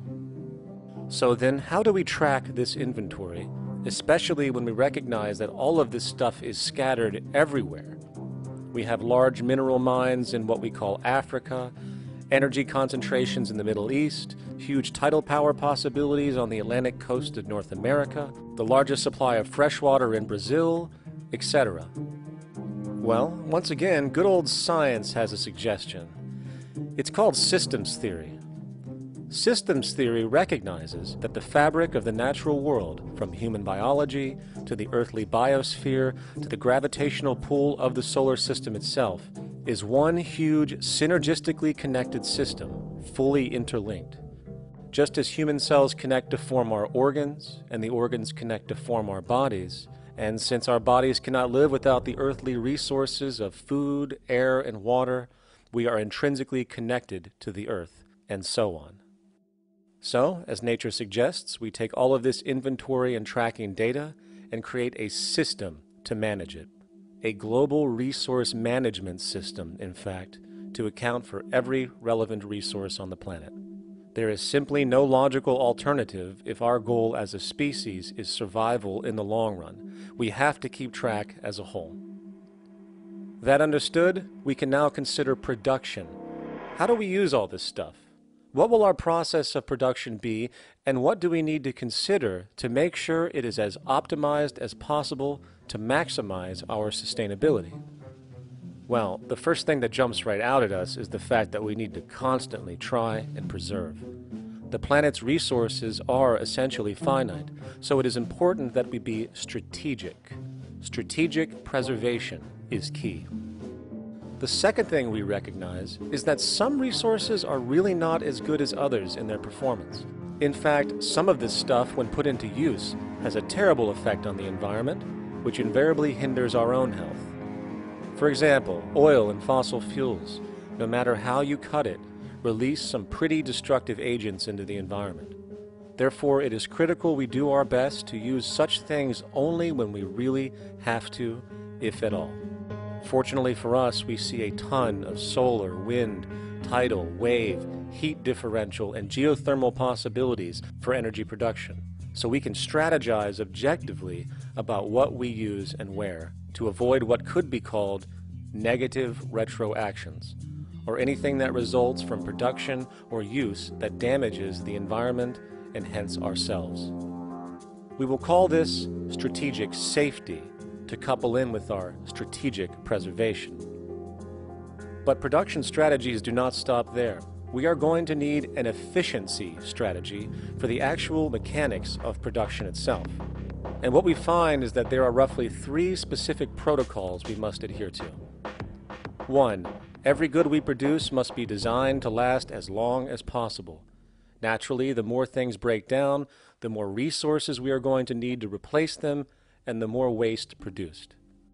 Two, when things do break down or are no longer usable for whatever reason, it is critical that we harvest or recycle as much as we possibly can. So the production design must take this into account directly at the very earliest stages. Three, quickly evolving technologies such as electronics, which are subject to the fastest rates of technological obsolescence, would need to be designed to foreshadow and accommodate physical updates. The last thing we want to do is throw away an entire computer system just because it has only one broken part or is outdated. So we simply design the components to be easily updated, part by part, standardized and universally interchangeable, foreshadowed by the current trend of technological change. And when we realize that the mechanisms of strategic preservation, strategic safety, and strategic efficiency are purely technical considerations, devoid of any human opinion or bias. We simply program these strategies into a computer which can weigh and calculate all the relevant variables, allowing us to always arrive at the absolute best method for sustainable production based on current understandings. And while that might sound complex, all it is is a glorified calculator not to mention, such multivariate decision making and monitoring systems are already used across the world today for isolated purposes. It is simply a process of scaling it out. So, now we not only have our resource management system, but also a production management system, both of which are easily computer automated to maximize efficiency, preservation, and safety. The informational reality is that the human mind, or even a group of humans, cannot track what needs to be tracked. It must be done by computers, and it can be. And this brings us to the next level distribution. What sustainability strategies make sense here? Well, since we know that the shortest distance between two points is a straight line, and since energy is required to power transport machines, the less transport distance, the more efficient. Producing goods in one continent and shipping them over to another only makes sense if the goods in question simply cannot be produced in the target area. Otherwise, it is nothing but wasteful. We must localize production so distribution is simple, fast, and requires the least amount of energy. We'll call this the proximity strategy, which simply means we reduce the travel of goods as much as possible, whether raw materials or finished consumer products. Of course, it might also be important to know what goods we are transporting and why, and this falls under the category of demand. And demand is simply what people need to be healthy and to have a high quality of life. The spectrum of material human needs range from core life supporting necessities, such as food, clean water, shelter, to social and recreational goods, which allow for relaxation and personal social enjoyment, both important factors in human and social health overall. So, very simply, we take another survey. People describe their needs, demand is assessed, and production begins based on that demand. And since the level of demand of different goods will naturally fluctuate and change around different regions, we need to create a demand distribution tracking system, so to avoid overruns and shortages. Of course, this idea is old news. It is used in every major store chain today to make sure they keep up with their inventory. Only this time we are tracking on a global scale. But wait a minute, we really can't fully understand demand if we don't account for the actual usage of the good itself. Is it logical and sustainable for every single human to, say, have one of everything made, regardless of their usage? No, that would be simply wasteful and inefficient. If a person has a need for a good, but that need is only for, say, 45 minutes a day on average, it would be much more efficient if that good was made available to them and to others when needed. Many forget that it isn't the good that they want, it is the purpose of that good. When we realize that the good itself is only as important as its utility, we see that external restriction, or what we might call today ownership, is extremely wasteful and environmentally illogical in a fundamental economic sense. So, we need to devise a strategy called strategic access. This will be the foundation of our demand distribution tracking system, which makes sure we can meet the demand of the population's needs for access of whatever they need when they need it. And as far as physically obtaining the goods, centralized and regional access centers all make sense for the most part. Placed in close proximity to the population, and a person would simply come in, take the item, use it, and when finished, return it when it is no longer needed. Sort of how a library works today. In fact, these centers could not only exist in the community in the way we see local stores today, but specialized access centers would exist in specific areas where often certain goods are utilized, saving more energy with less repeat transport.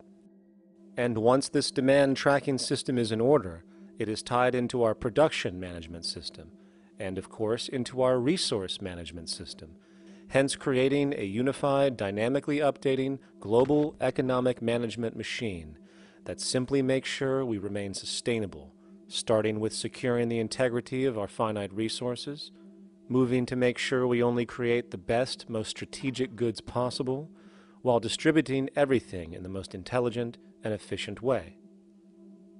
And the unique result of this preservation based approach, which is intuitively counter to many, is that this logical, ground up, empirical process of preservation and efficiency, which can only define true human sustainability on this planet, would likely enable something never before seen in human history access abundance, not just for a percentage of the global population, but the entire civilization.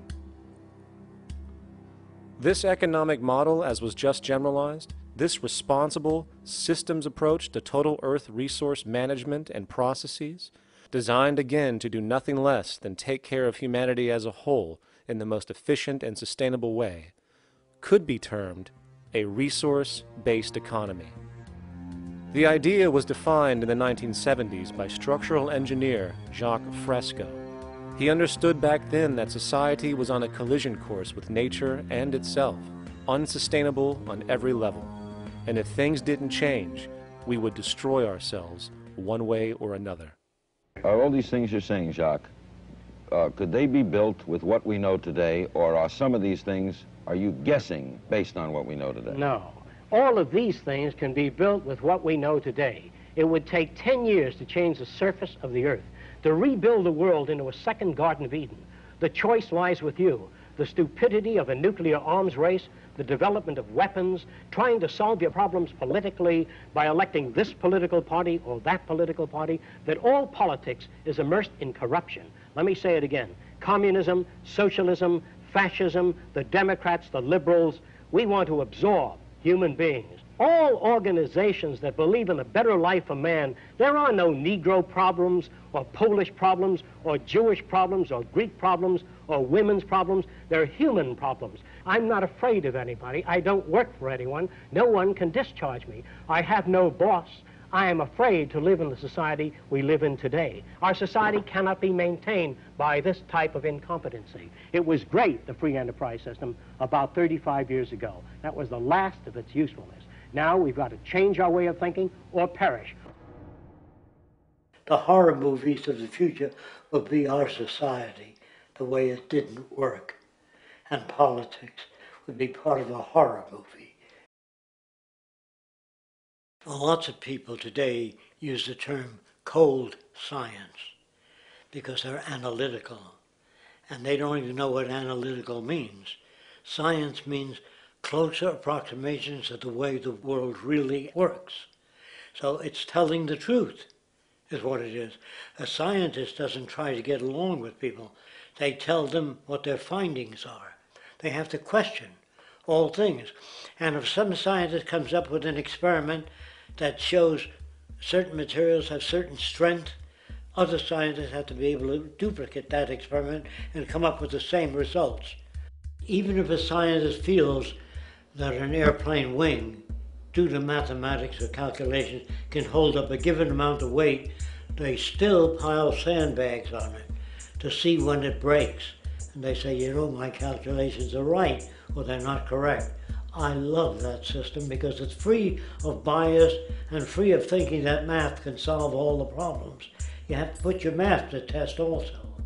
I think that every system that can be put to test should be put to test, and that all decisions should be based upon research.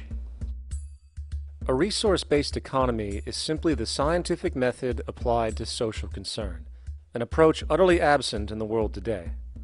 Society is a technical invention, and the most efficient methods of optimized human health, physical production, distribution, city infrastructure, and the like reside in the field of science and technology, not politics or monetary economics. It operates in the same systematic way as, say, an airplane, and there is no Republican or liberal way to build an airplane. Likewise, nature itself is the physical referent we use to prove our science, and it is a set system, emerging only from our increased understanding of it. In fact, it has no regard for what you subjectively think or believe to be true. Rather, it gives you an option. You can learn and fall in line with its natural laws and conduct yourself accordingly, invariably creating good health and sustainability, or you can go against the current to no avail. It doesn't matter how much you believe you can just stand up right now and walk on the wall next to you. The law of gravity will not allow it. If you do not eat, you will die. If you are not touched as an infant, you will die.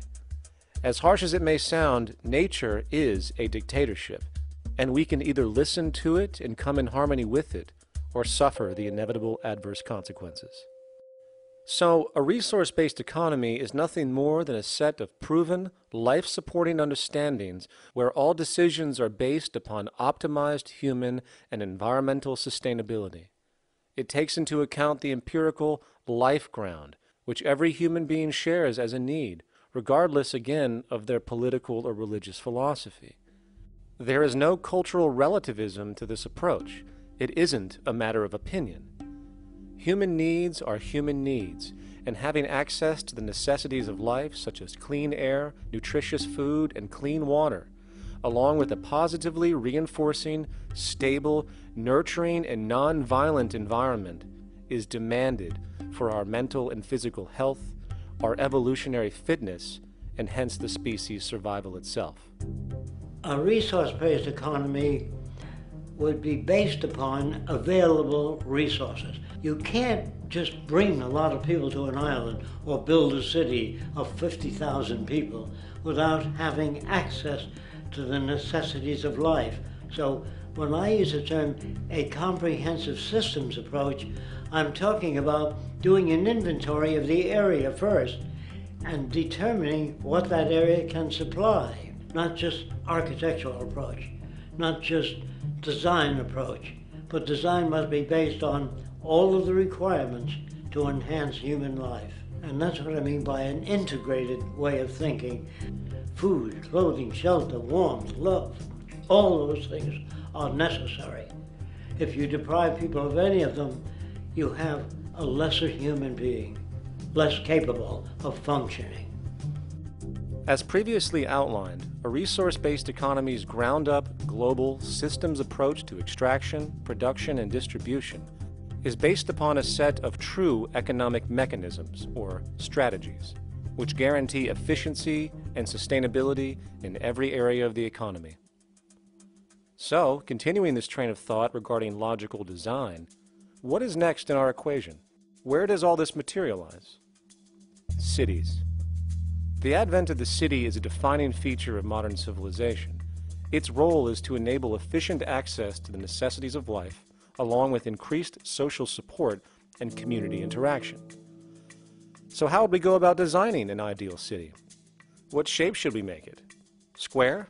Trapezoid? Well, given we're going to be moving around the thing, we might as well make it as equidistant as possible for ease, hence the circle. What should the city contain?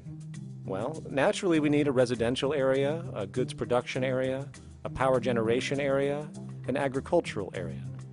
But we also need nurturing as human beings, hence culture, nature, recreation, and education. So let's include a nice open park, an entertainment events area for cultural purposes and socializing, and educational and research facilities. And since we're working with a circle, it seems rational to place these functions in belts based on the amount of land required for each goal, along with ease of access. Very good. Now, let's get down to specifics. First, we need to consider the core infrastructure, or intestines, of the city organism. These would be the water, good, waste, and energy transport channels. Just as we have water and sewage systems under our cities today, we would extend this channeling concept to integrate waste recycling and delivery itself. No more mailmen or garbage men. It is built right in. We could even use automated pneumatic tubes and similar technologies. Same goes for transport. It needs to be integrated and strategically designed to reduce or even remove the need for wasteful, independent automobiles. Electric trams, conveyors, transveyors, and maglevs, which can take you virtually anywhere in the city, even up and down, along with connecting you to other cities as well. And of course, in the event an automobile is required, it is automated by satellite for safety and integrity. In fact, this automation technology is in working order right now. Automobile accidents kill about 1.2 million people every single year, injuring about 50 million. This is absurd and doesn't have to occur. Between efficient city design and automated driverless cars, this death toll can be virtually eliminated. Agriculture. Today, through our haphazard, cost cutting industrial methods, using pesticides, excessive fertilizers, and other means, we have successfully destroyed much of the arable land on this planet, not to mention also extensively poisoning our bodies. In fact, industrial and agricultural chemical toxins now show up in virtually every human being tested, including infants. Fortunately, there is a glaring alternative the soilless mediums of hydroponics and aeroponics, which also reduce nutrient and water requirements by up to 75% of our current usage. Food can now be organically grown on an industrial scale in enclosed vertical farms, such as in 50 story, one acre plots, virtually eliminating the need for pesticides and hydrocarbons in general. This is the future of industrial food cultivation efficient, clean, and abundant. So, such advanced systems would be, in part, what comprise our agricultural belt, producing all the food required for the entire city's population, with no need to import anything from the outside, saving time, waste, and energy. And speaking of energy, the energy belt would work in a systems approach to extract electricity from our abundant renewable mediums specifically wind, solar, geothermal, and heat differentials, and if near water potentials, tidal and wave power. To avoid intermittency and make sure a positive net energy return occurs, these mediums would operate in an integrated system, powering each other when needed, while storing excessive energy to large supercapacitors under the ground, so nothing can go to waste. And not only does the city power itself, particular structures will also power independently and generate electricity through photovoltaic paints, structural pressure transducers, the thermocouple effect, and other current but underutilized technologies. But of course, this begs the question how does this technology and goods in general get created in the first place? This brings us to production. The industrial belt, apart from having hospitals and the like, would be the hub of factory production. Completely localized overall, it would of course obtain raw materials by way of the global resource management system just discussed, with demand being generated by the population of the city itself. As far as the mechanics of production, we need to discuss a new, powerful phenomenon which was sparked very recently in human history and is on pace to changing everything. It's called mechanization, or the automation of labor. Well, if you look uh, around you, you'll notice that almost everything that we use today uh, is built automatically. Uh, your shoes, your clothes, your home appliances, your car, and so on, uh, they are all built by machines uh, in an automatic way. Can we say that the society has not been influenced by these major technological advancements? Of course not. These um, systems really dictate new structures and new needs, and they make a lot of other things obsolete. So we've been going up uh, in the development and use of technology in an exponential way. So definitely automation is going to continue. You cannot stop uh, technologies that just make sense. Labor automation through technology is at the bottom of every major social transformation in human history. From the agricultural revolution and the invention of the plow, to the industrial revolution and the invention of the powered machine, to the information age we live in now through essentially the invention of advanced electronics and computers. And with regard to advanced production methods today, Mechanization is now evolving on its own, moving away from the traditional method of assembling component parts into a configuration into an advanced method of creating entire products in one single process. Like most engineers, I'm fascinated by biology because it's so full of examples of extraordinary pieces of engineering.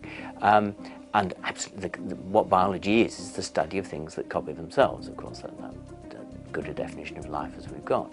Again, as an engineer, I've always been intrigued by the idea of machines that would copy themselves. RepRap is a three-dimensional printer. That's to say, it's a printer that you plug into a computer, and instead of making two-dimensional sheets of paper with patterns on, it makes real, physical, three-dimensional objects. Now, there's nothing new about that. Uh, 3D printers have been around for about 30 years. Big thing about RepRap is that it prints most of its own parts. So if you've got one, you can make another one and give it to a friend, as well as being able to print lots of useful things. From the simple printing of basic household goods in your home to the printing of an entire automobile body in one swoop, advanced automated 3D printing now has the potential to transform virtually every field of production, including home construction. Contour crafting is actually a fabrication technology the so-called 3D printing when you directly build a 3D object from a computer model. Using contour crafting, it will be possible to build a 2,000 square foot home entirely by the machine in one day.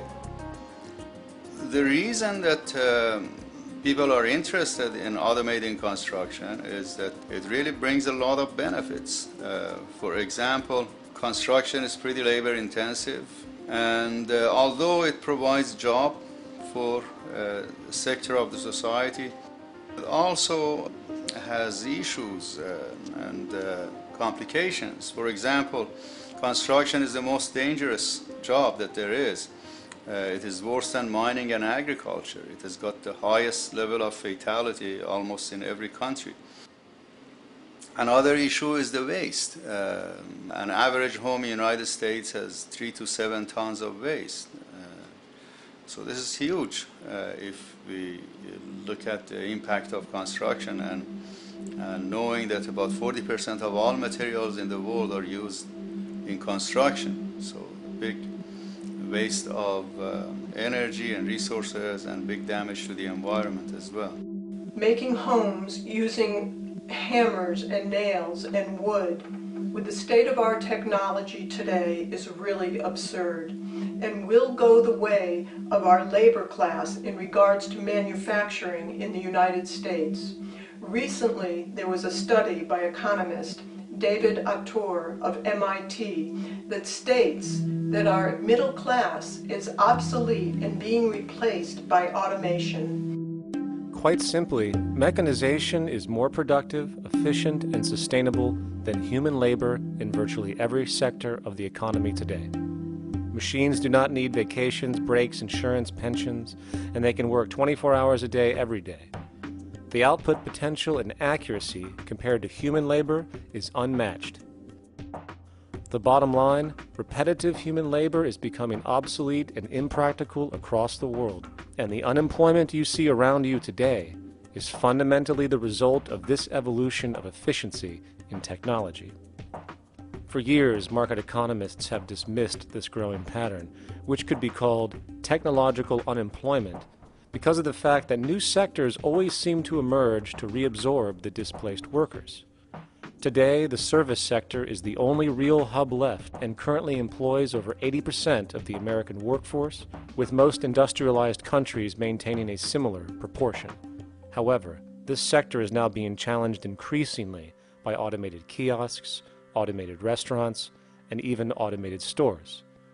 Economists today are finally acknowledging what they have been denying for years not only is technological unemployment exasperating the current labor crisis we see across the world due to the global economic downturn, but the more the recession deepens, the faster the industries are mechanizing.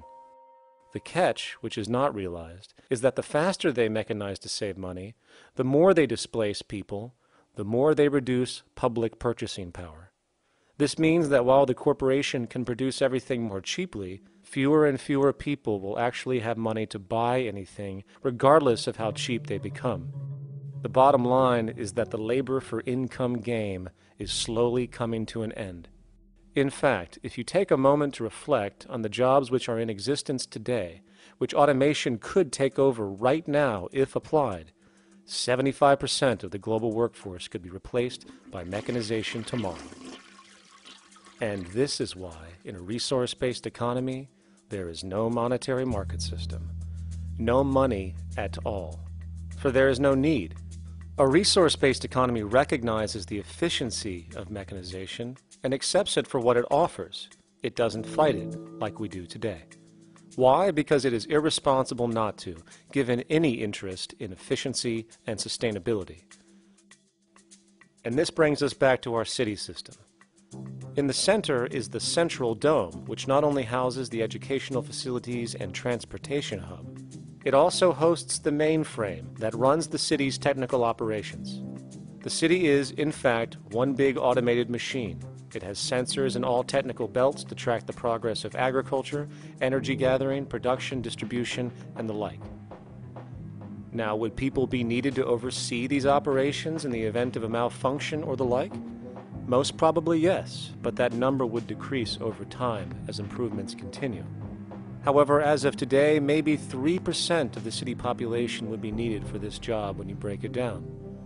And I can assure you that in an economic system which is actually designed to take care of you and secure your well being, without you having to submit to a private dictatorship on a daily basis, usually to a job that is either technically unnecessary or socially pointless, while often struggling with debt that doesn't exist just to make ends meet. I guarantee you people will volunteer their time left and right to maintain and improve a system that actually takes care of them. And coupled with this issue of incentive comes the common assumption that if there isn't some external pressure for one to work for a living, people will just sit around, do nothing, and turn into fat, lazy blobs. This is nonsense. The labor system we have today is in fact the generator of laziness, not a resolver of it. If you think back to when you were a child, full of life, interested in new things to understand, likely creating and exploring, but as time went on, the system pushed you into the focus of figuring out how to make money.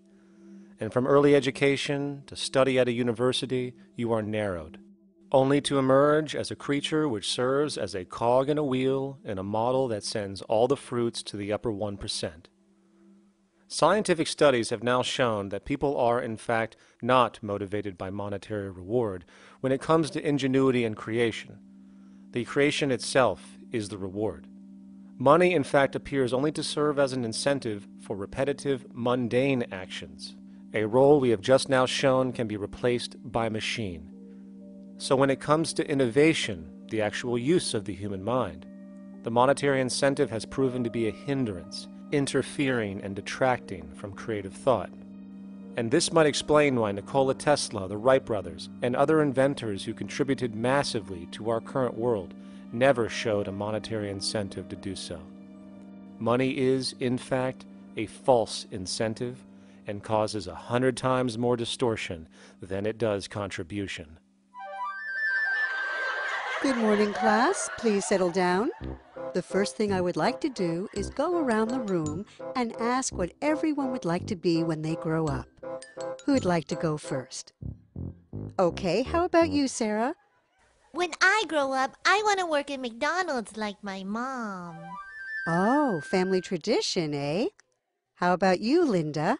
When I grow up, I'm going to be a prostitute on the streets of New York City. Oh, glamour girl, huh? Very ambitious. How about you, Tommy? When I grow up, I'm going to be a rich, elitist businessman who works on Wall Street and profits off of the collapse of foreign economies. Enterprising. And great to see some multicultural interest. As stated before, a resource-based economy applies the scientific method to social concern, and this isn't limited to simply technical efficiency. It also has the consideration of human and social well-being directly and what comprises it. What good is a social system if, in the end, it doesn't produce happiness and peaceful coexistence? So it is important to point out that with the removal of the money system and the necessities of life provided, we would see a global reduction in crime by about 95% almost immediately, for there is nothing to steal, embezzle, scam, or the like. 95% of all people in prisons today are there due to some monetary related crime or drug abuse, and drug abuse is a disorder, not a crime. So, what about the other 5%? The truly violent, often seeming to some as being violent for the sake of being violent. Are they just evil people? The, the reason that I frankly think it's a waste of time to engage in moral value judgments about uh, people's violence is because it doesn't advance by one iota our understanding of either the causes or the prevention of the violent behavior. People sometimes ask if I believe in forgiving criminals. My answer to that is no, I don't believe in forgiveness any more than I believe in condemnation. It's only if we as a society can take the same attitude of treating violence as a problem in public health and preventive medicine rather than as a moral evil. Uh, it's only when we make that change in our own attitudes and assumptions and values that we will actually succeed in reducing the level of violence rather than stimulating it, which is what we do now. The more justice you seek, the more hurt you become. Because there's no thing as justice. There is whatever there is out there. That's it. In other words, if people are conditioned to be racist bigots, if they're brought up in an environment that advocates that, why do you blame the person for it? They're a victim of a subculture. Therefore, they have to be helped. The point is, we have to redesign the environment that produces aberrant behavior. That's the problem, not putting a person in jail. That's why judges, lawyers, freedom of choice, such concepts are dangerous because it gives you misinformation that the person is bad or that person is a serial killer. Serial killers are made just like soldiers become serial killers with a machine gun. They become killing machines, but nobody looks at them as murderers or assassins because that's natural. So we blame people. We say, well, this guy was a Nazi, he tortured Jews. No, he was brought up to torture Jews. Once you accept the fact that people have individual choices and they're free to make those choices, free to make choices means without being influenced. And I can't understand that at all. All of us are influenced in all our choices by the culture we live in, by our parents, and by the values that dominate. So we're influenced. So there can't be free choices. What's the greatest country in the world? The true answer, I haven't been all over the world, and I don't know, know enough about different cultures to answer that question. I don't know anybody that speaks that way.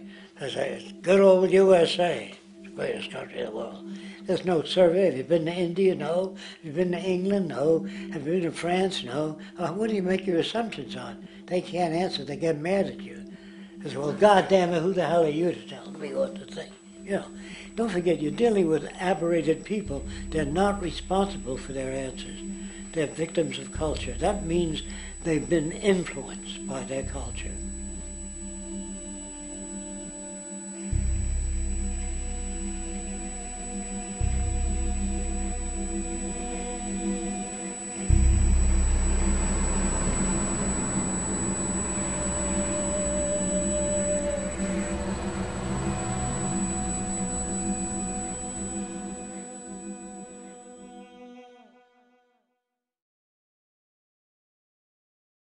When we consider a resource based economy, there are often a number of arguments that tend to come up with regard Hey. to the efficiency. Hey, hey. Uh, Now hold on just a minute. Yes.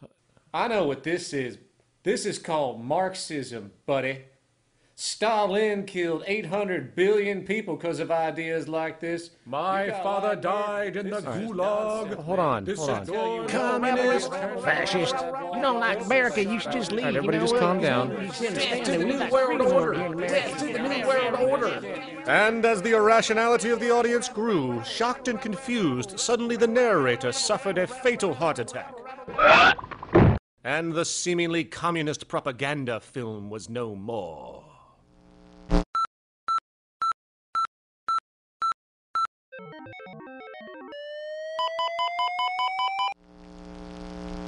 You know, I've said that sort of thing to people in think tank type of situations, and uh, you know these Club of Rome types and so forth.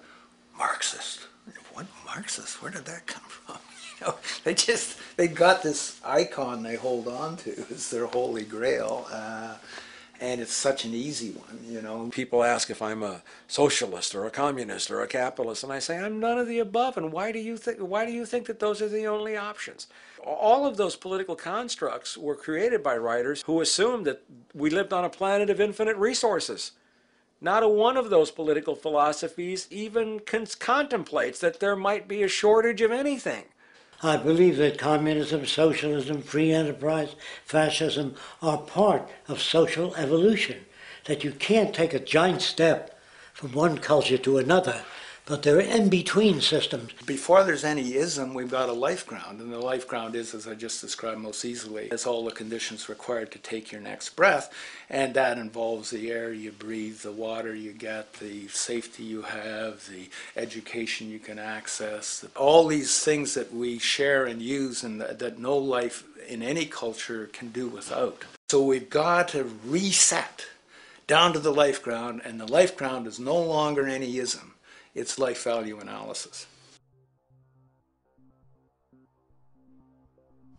It's simply a matter of historical fact that the dominant intellectual culture of any particular society reflects the interest of the dominant group in that society.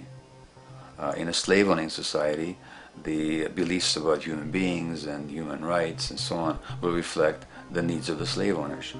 In a society which again is based on the power of uh, certain people to control and profit from the lives and uh, work of millions of others. The dominant intellectual culture will reflect the needs of, of the dominant group.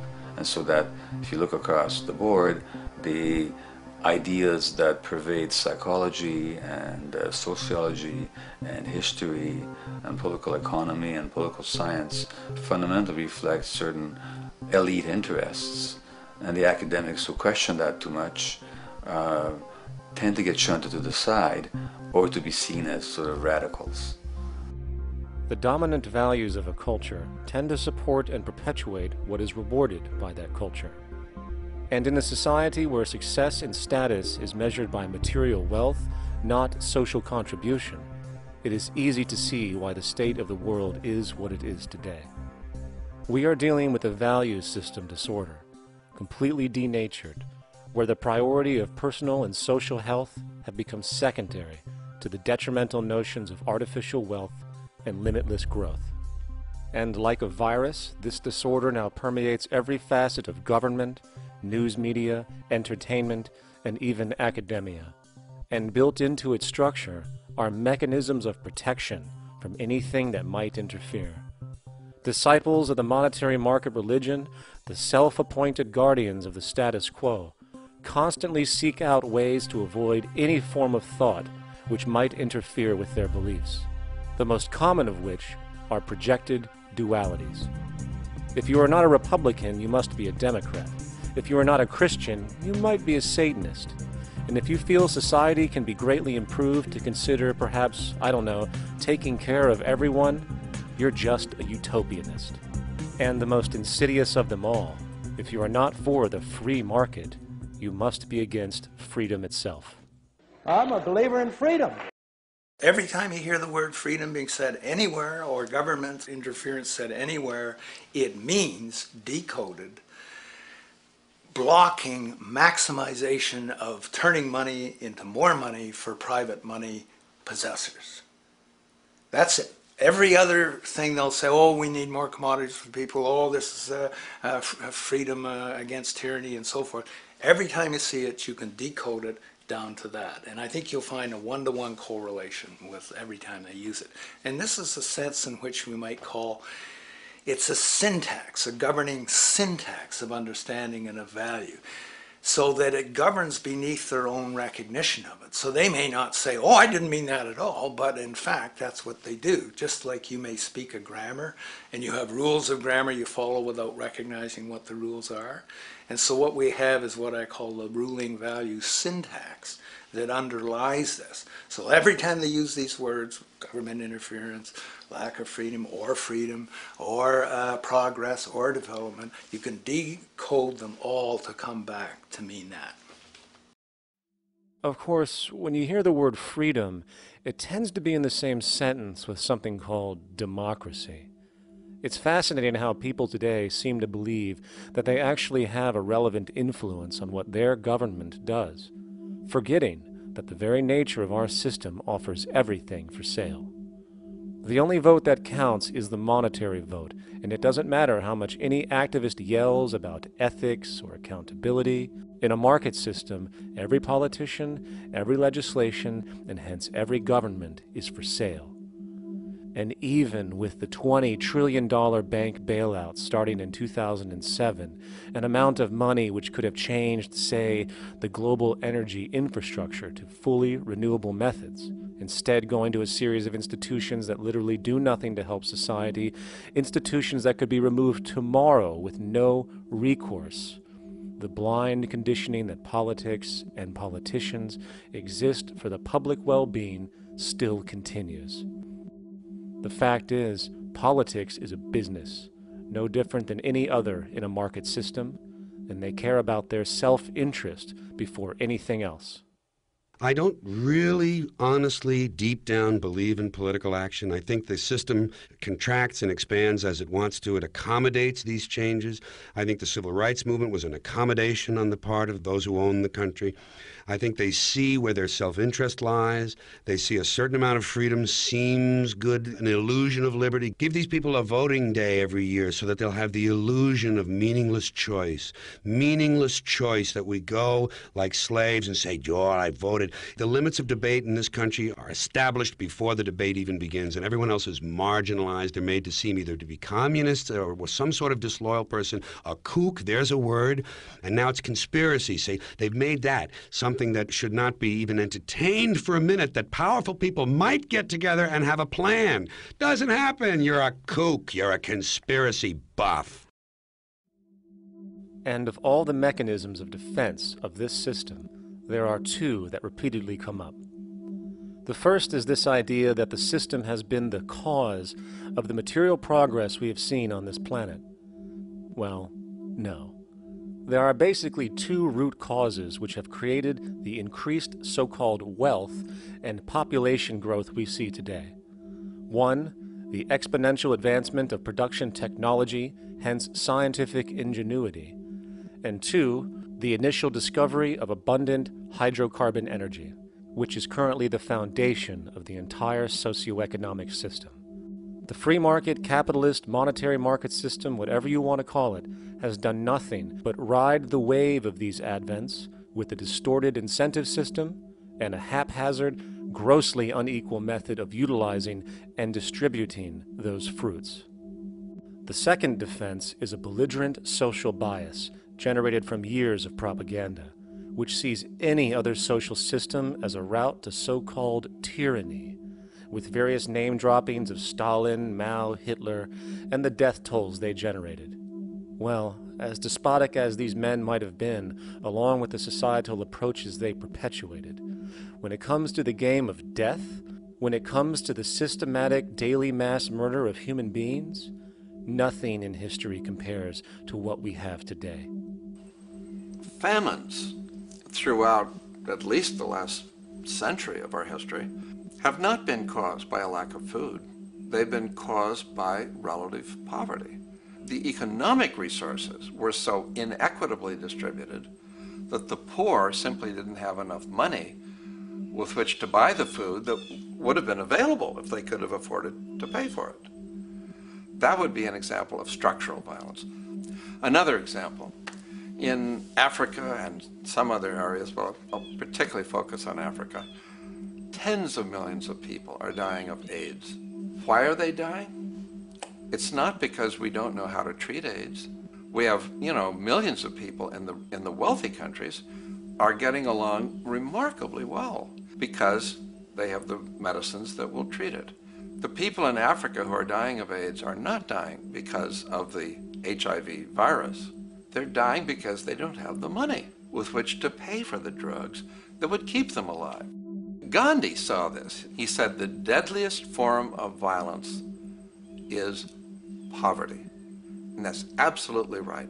Poverty kills far more people than all the wars in history, more people than all the murderers in history, more than all the suicides in history. Not only does structural violence kill more people than all the behavioral violence put together, structural violence is also the main cause of behavioral violence.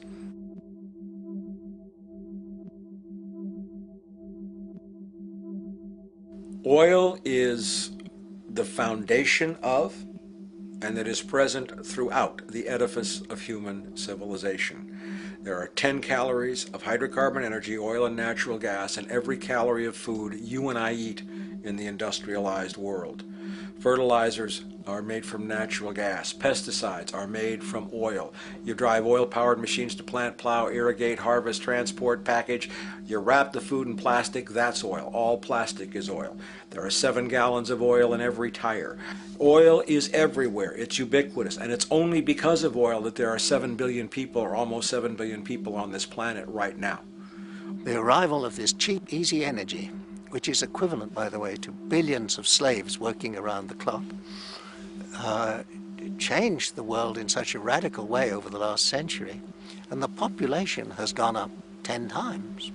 But by 2050, oil supply is able to support less than half the present world's population in their present way of life. So the scale of adjustment to live differently is just enormous. The world is now using six barrels of oil for every barrel it finds. Five years ago, it was using four barrels of oil for every barrel it finds. A year from now, it's going to be using eight barrels of oil for every barrel it finds. What's disturbing to me is the lack of any real effort from governments worldwide or industry leaders worldwide to do something different.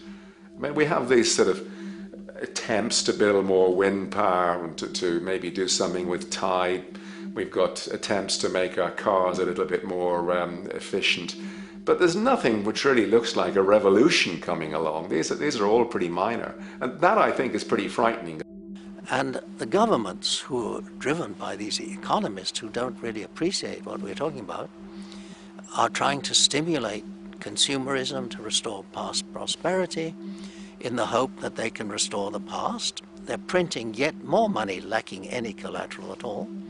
So if, if the economy improves and recovers and growth, the famous growth comes back, it'll only be short-lived because within a short period of time, counted in months rather than years, it'll hit the supply barrier again.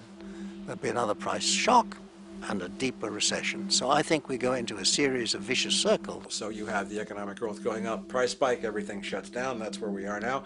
Then it starts to come up again. But what we have now is this is this area where there's there's no more ability to produce cheap energy. We're at the peak. We're on the downslope of oil production. No way you're going to get any more out of the ground uh, any faster, uh, which means that things shut down, the price of oil drops, which it did in early 2009, but then as you have an ersatz so-called recovery, the price of oil starts to come back. It's recently been hovering around $80 a barrel, and, and what we see is at $80 a barrel now, with the economic and financial collapse, people are having a hard time affording that. World oil production uh, right now is about 86 million barrels a day. Over 10 years, you're looking at roughly 40, 40 million barrels a day having to be replaced. There's nothing around which can come even within a 1% of meeting that sort of demand. If we don't do something pretty quickly, there's going to be a huge energy deficiency. I think the big mistake is in not recognizing um, a decade or so ago that an effort, a concerted effort, needed to be made to develop these sustainable forms of energy. I think that's something our grandchildren will look back on with uh, total uh, disbelief. You people knew that you were dealing with a finite commodity. How could you possibly uh, have built your economy around something which was going to disappear? For the first time in human history, the species is now faced with the depletion of a core resource central to our current system of survival. And the punchline of the whole thing is that even with oil becoming more and more scarce, the economic system will still blindly push its cancerous growth model so people can go out and buy more oil powered cars to generate GDP and jobs, exacerbating the decline.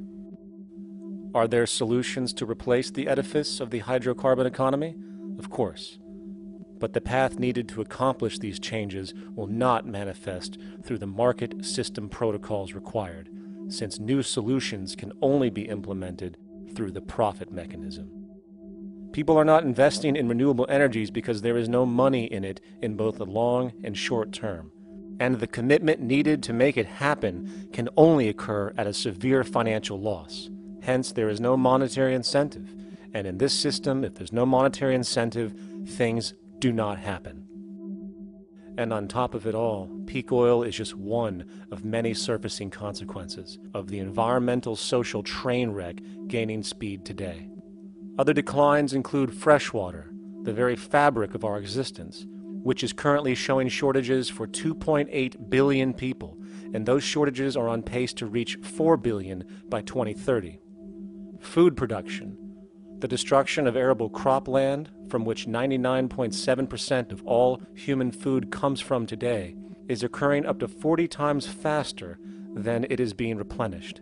And over the last 40 years, 30% of the arable land has become unproductive. Not to mention that hydrocarbons are the backbone of agriculture today, and as it declines, so will the food supply. As far as resources in general, at our current patterns of consumption, by 2030 we will need two planets to continue our rates, not to mention the continual destruction of life supporting biodiversity, causing extinction spasms and environmental destabilization across the globe.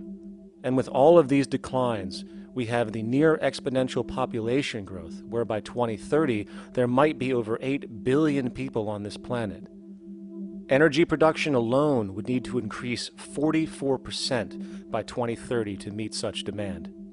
And again, since money is the only initiator of action, are we to expect that any country on the planet is going to be able to afford the massive changes needed to revolutionize agriculture, water processing, energy production, and the like, when the global debt pyramid scheme is slowly shutting the entire world down? Not to mention the fact that the unemployment you currently see is going to become normality due to the nature of technological unemployment. The jobs are not coming back. And finally, a broad social perspective. From 1970 to 2010, poverty on this planet doubled due to this system. And given our current state, do you honestly think we will see anything less than more doubling, more suffering, and more mass starvation? There is not going to be any recovery. This is not some long depression that we're some, someday going to pull out of. I think the next phase we're going to see after the next round of economic collapse is massive civil unrest, when employment checks stop being paid because the states have no money left. And when things get so bad that people lose confidence in their elected leaders, they will demand change if we don't kill each other in the process or destroy the environment. I'm just afraid that we might get to the point of no return. And that bothers me no end. We do all we can to avoid that condition. It's clear that we're on the verge of a great transition in human life. That what we face now is this fundamental change of the life we've known over the last century.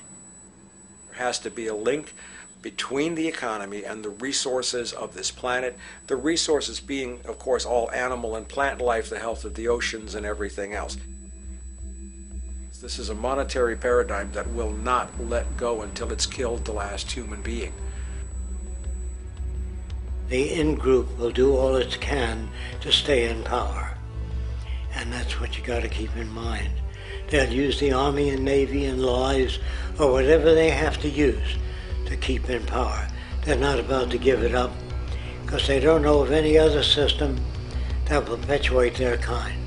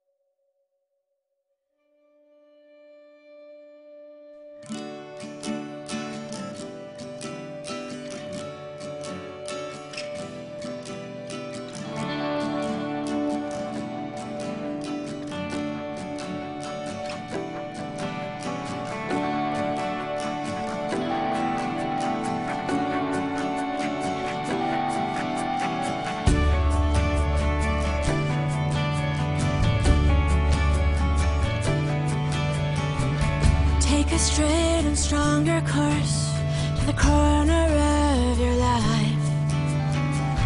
Just remember that the goal is for us all to capture all we want. Yeah.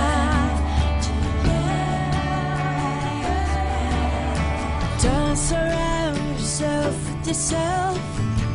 Move on back to squares. Send an instant karma to me.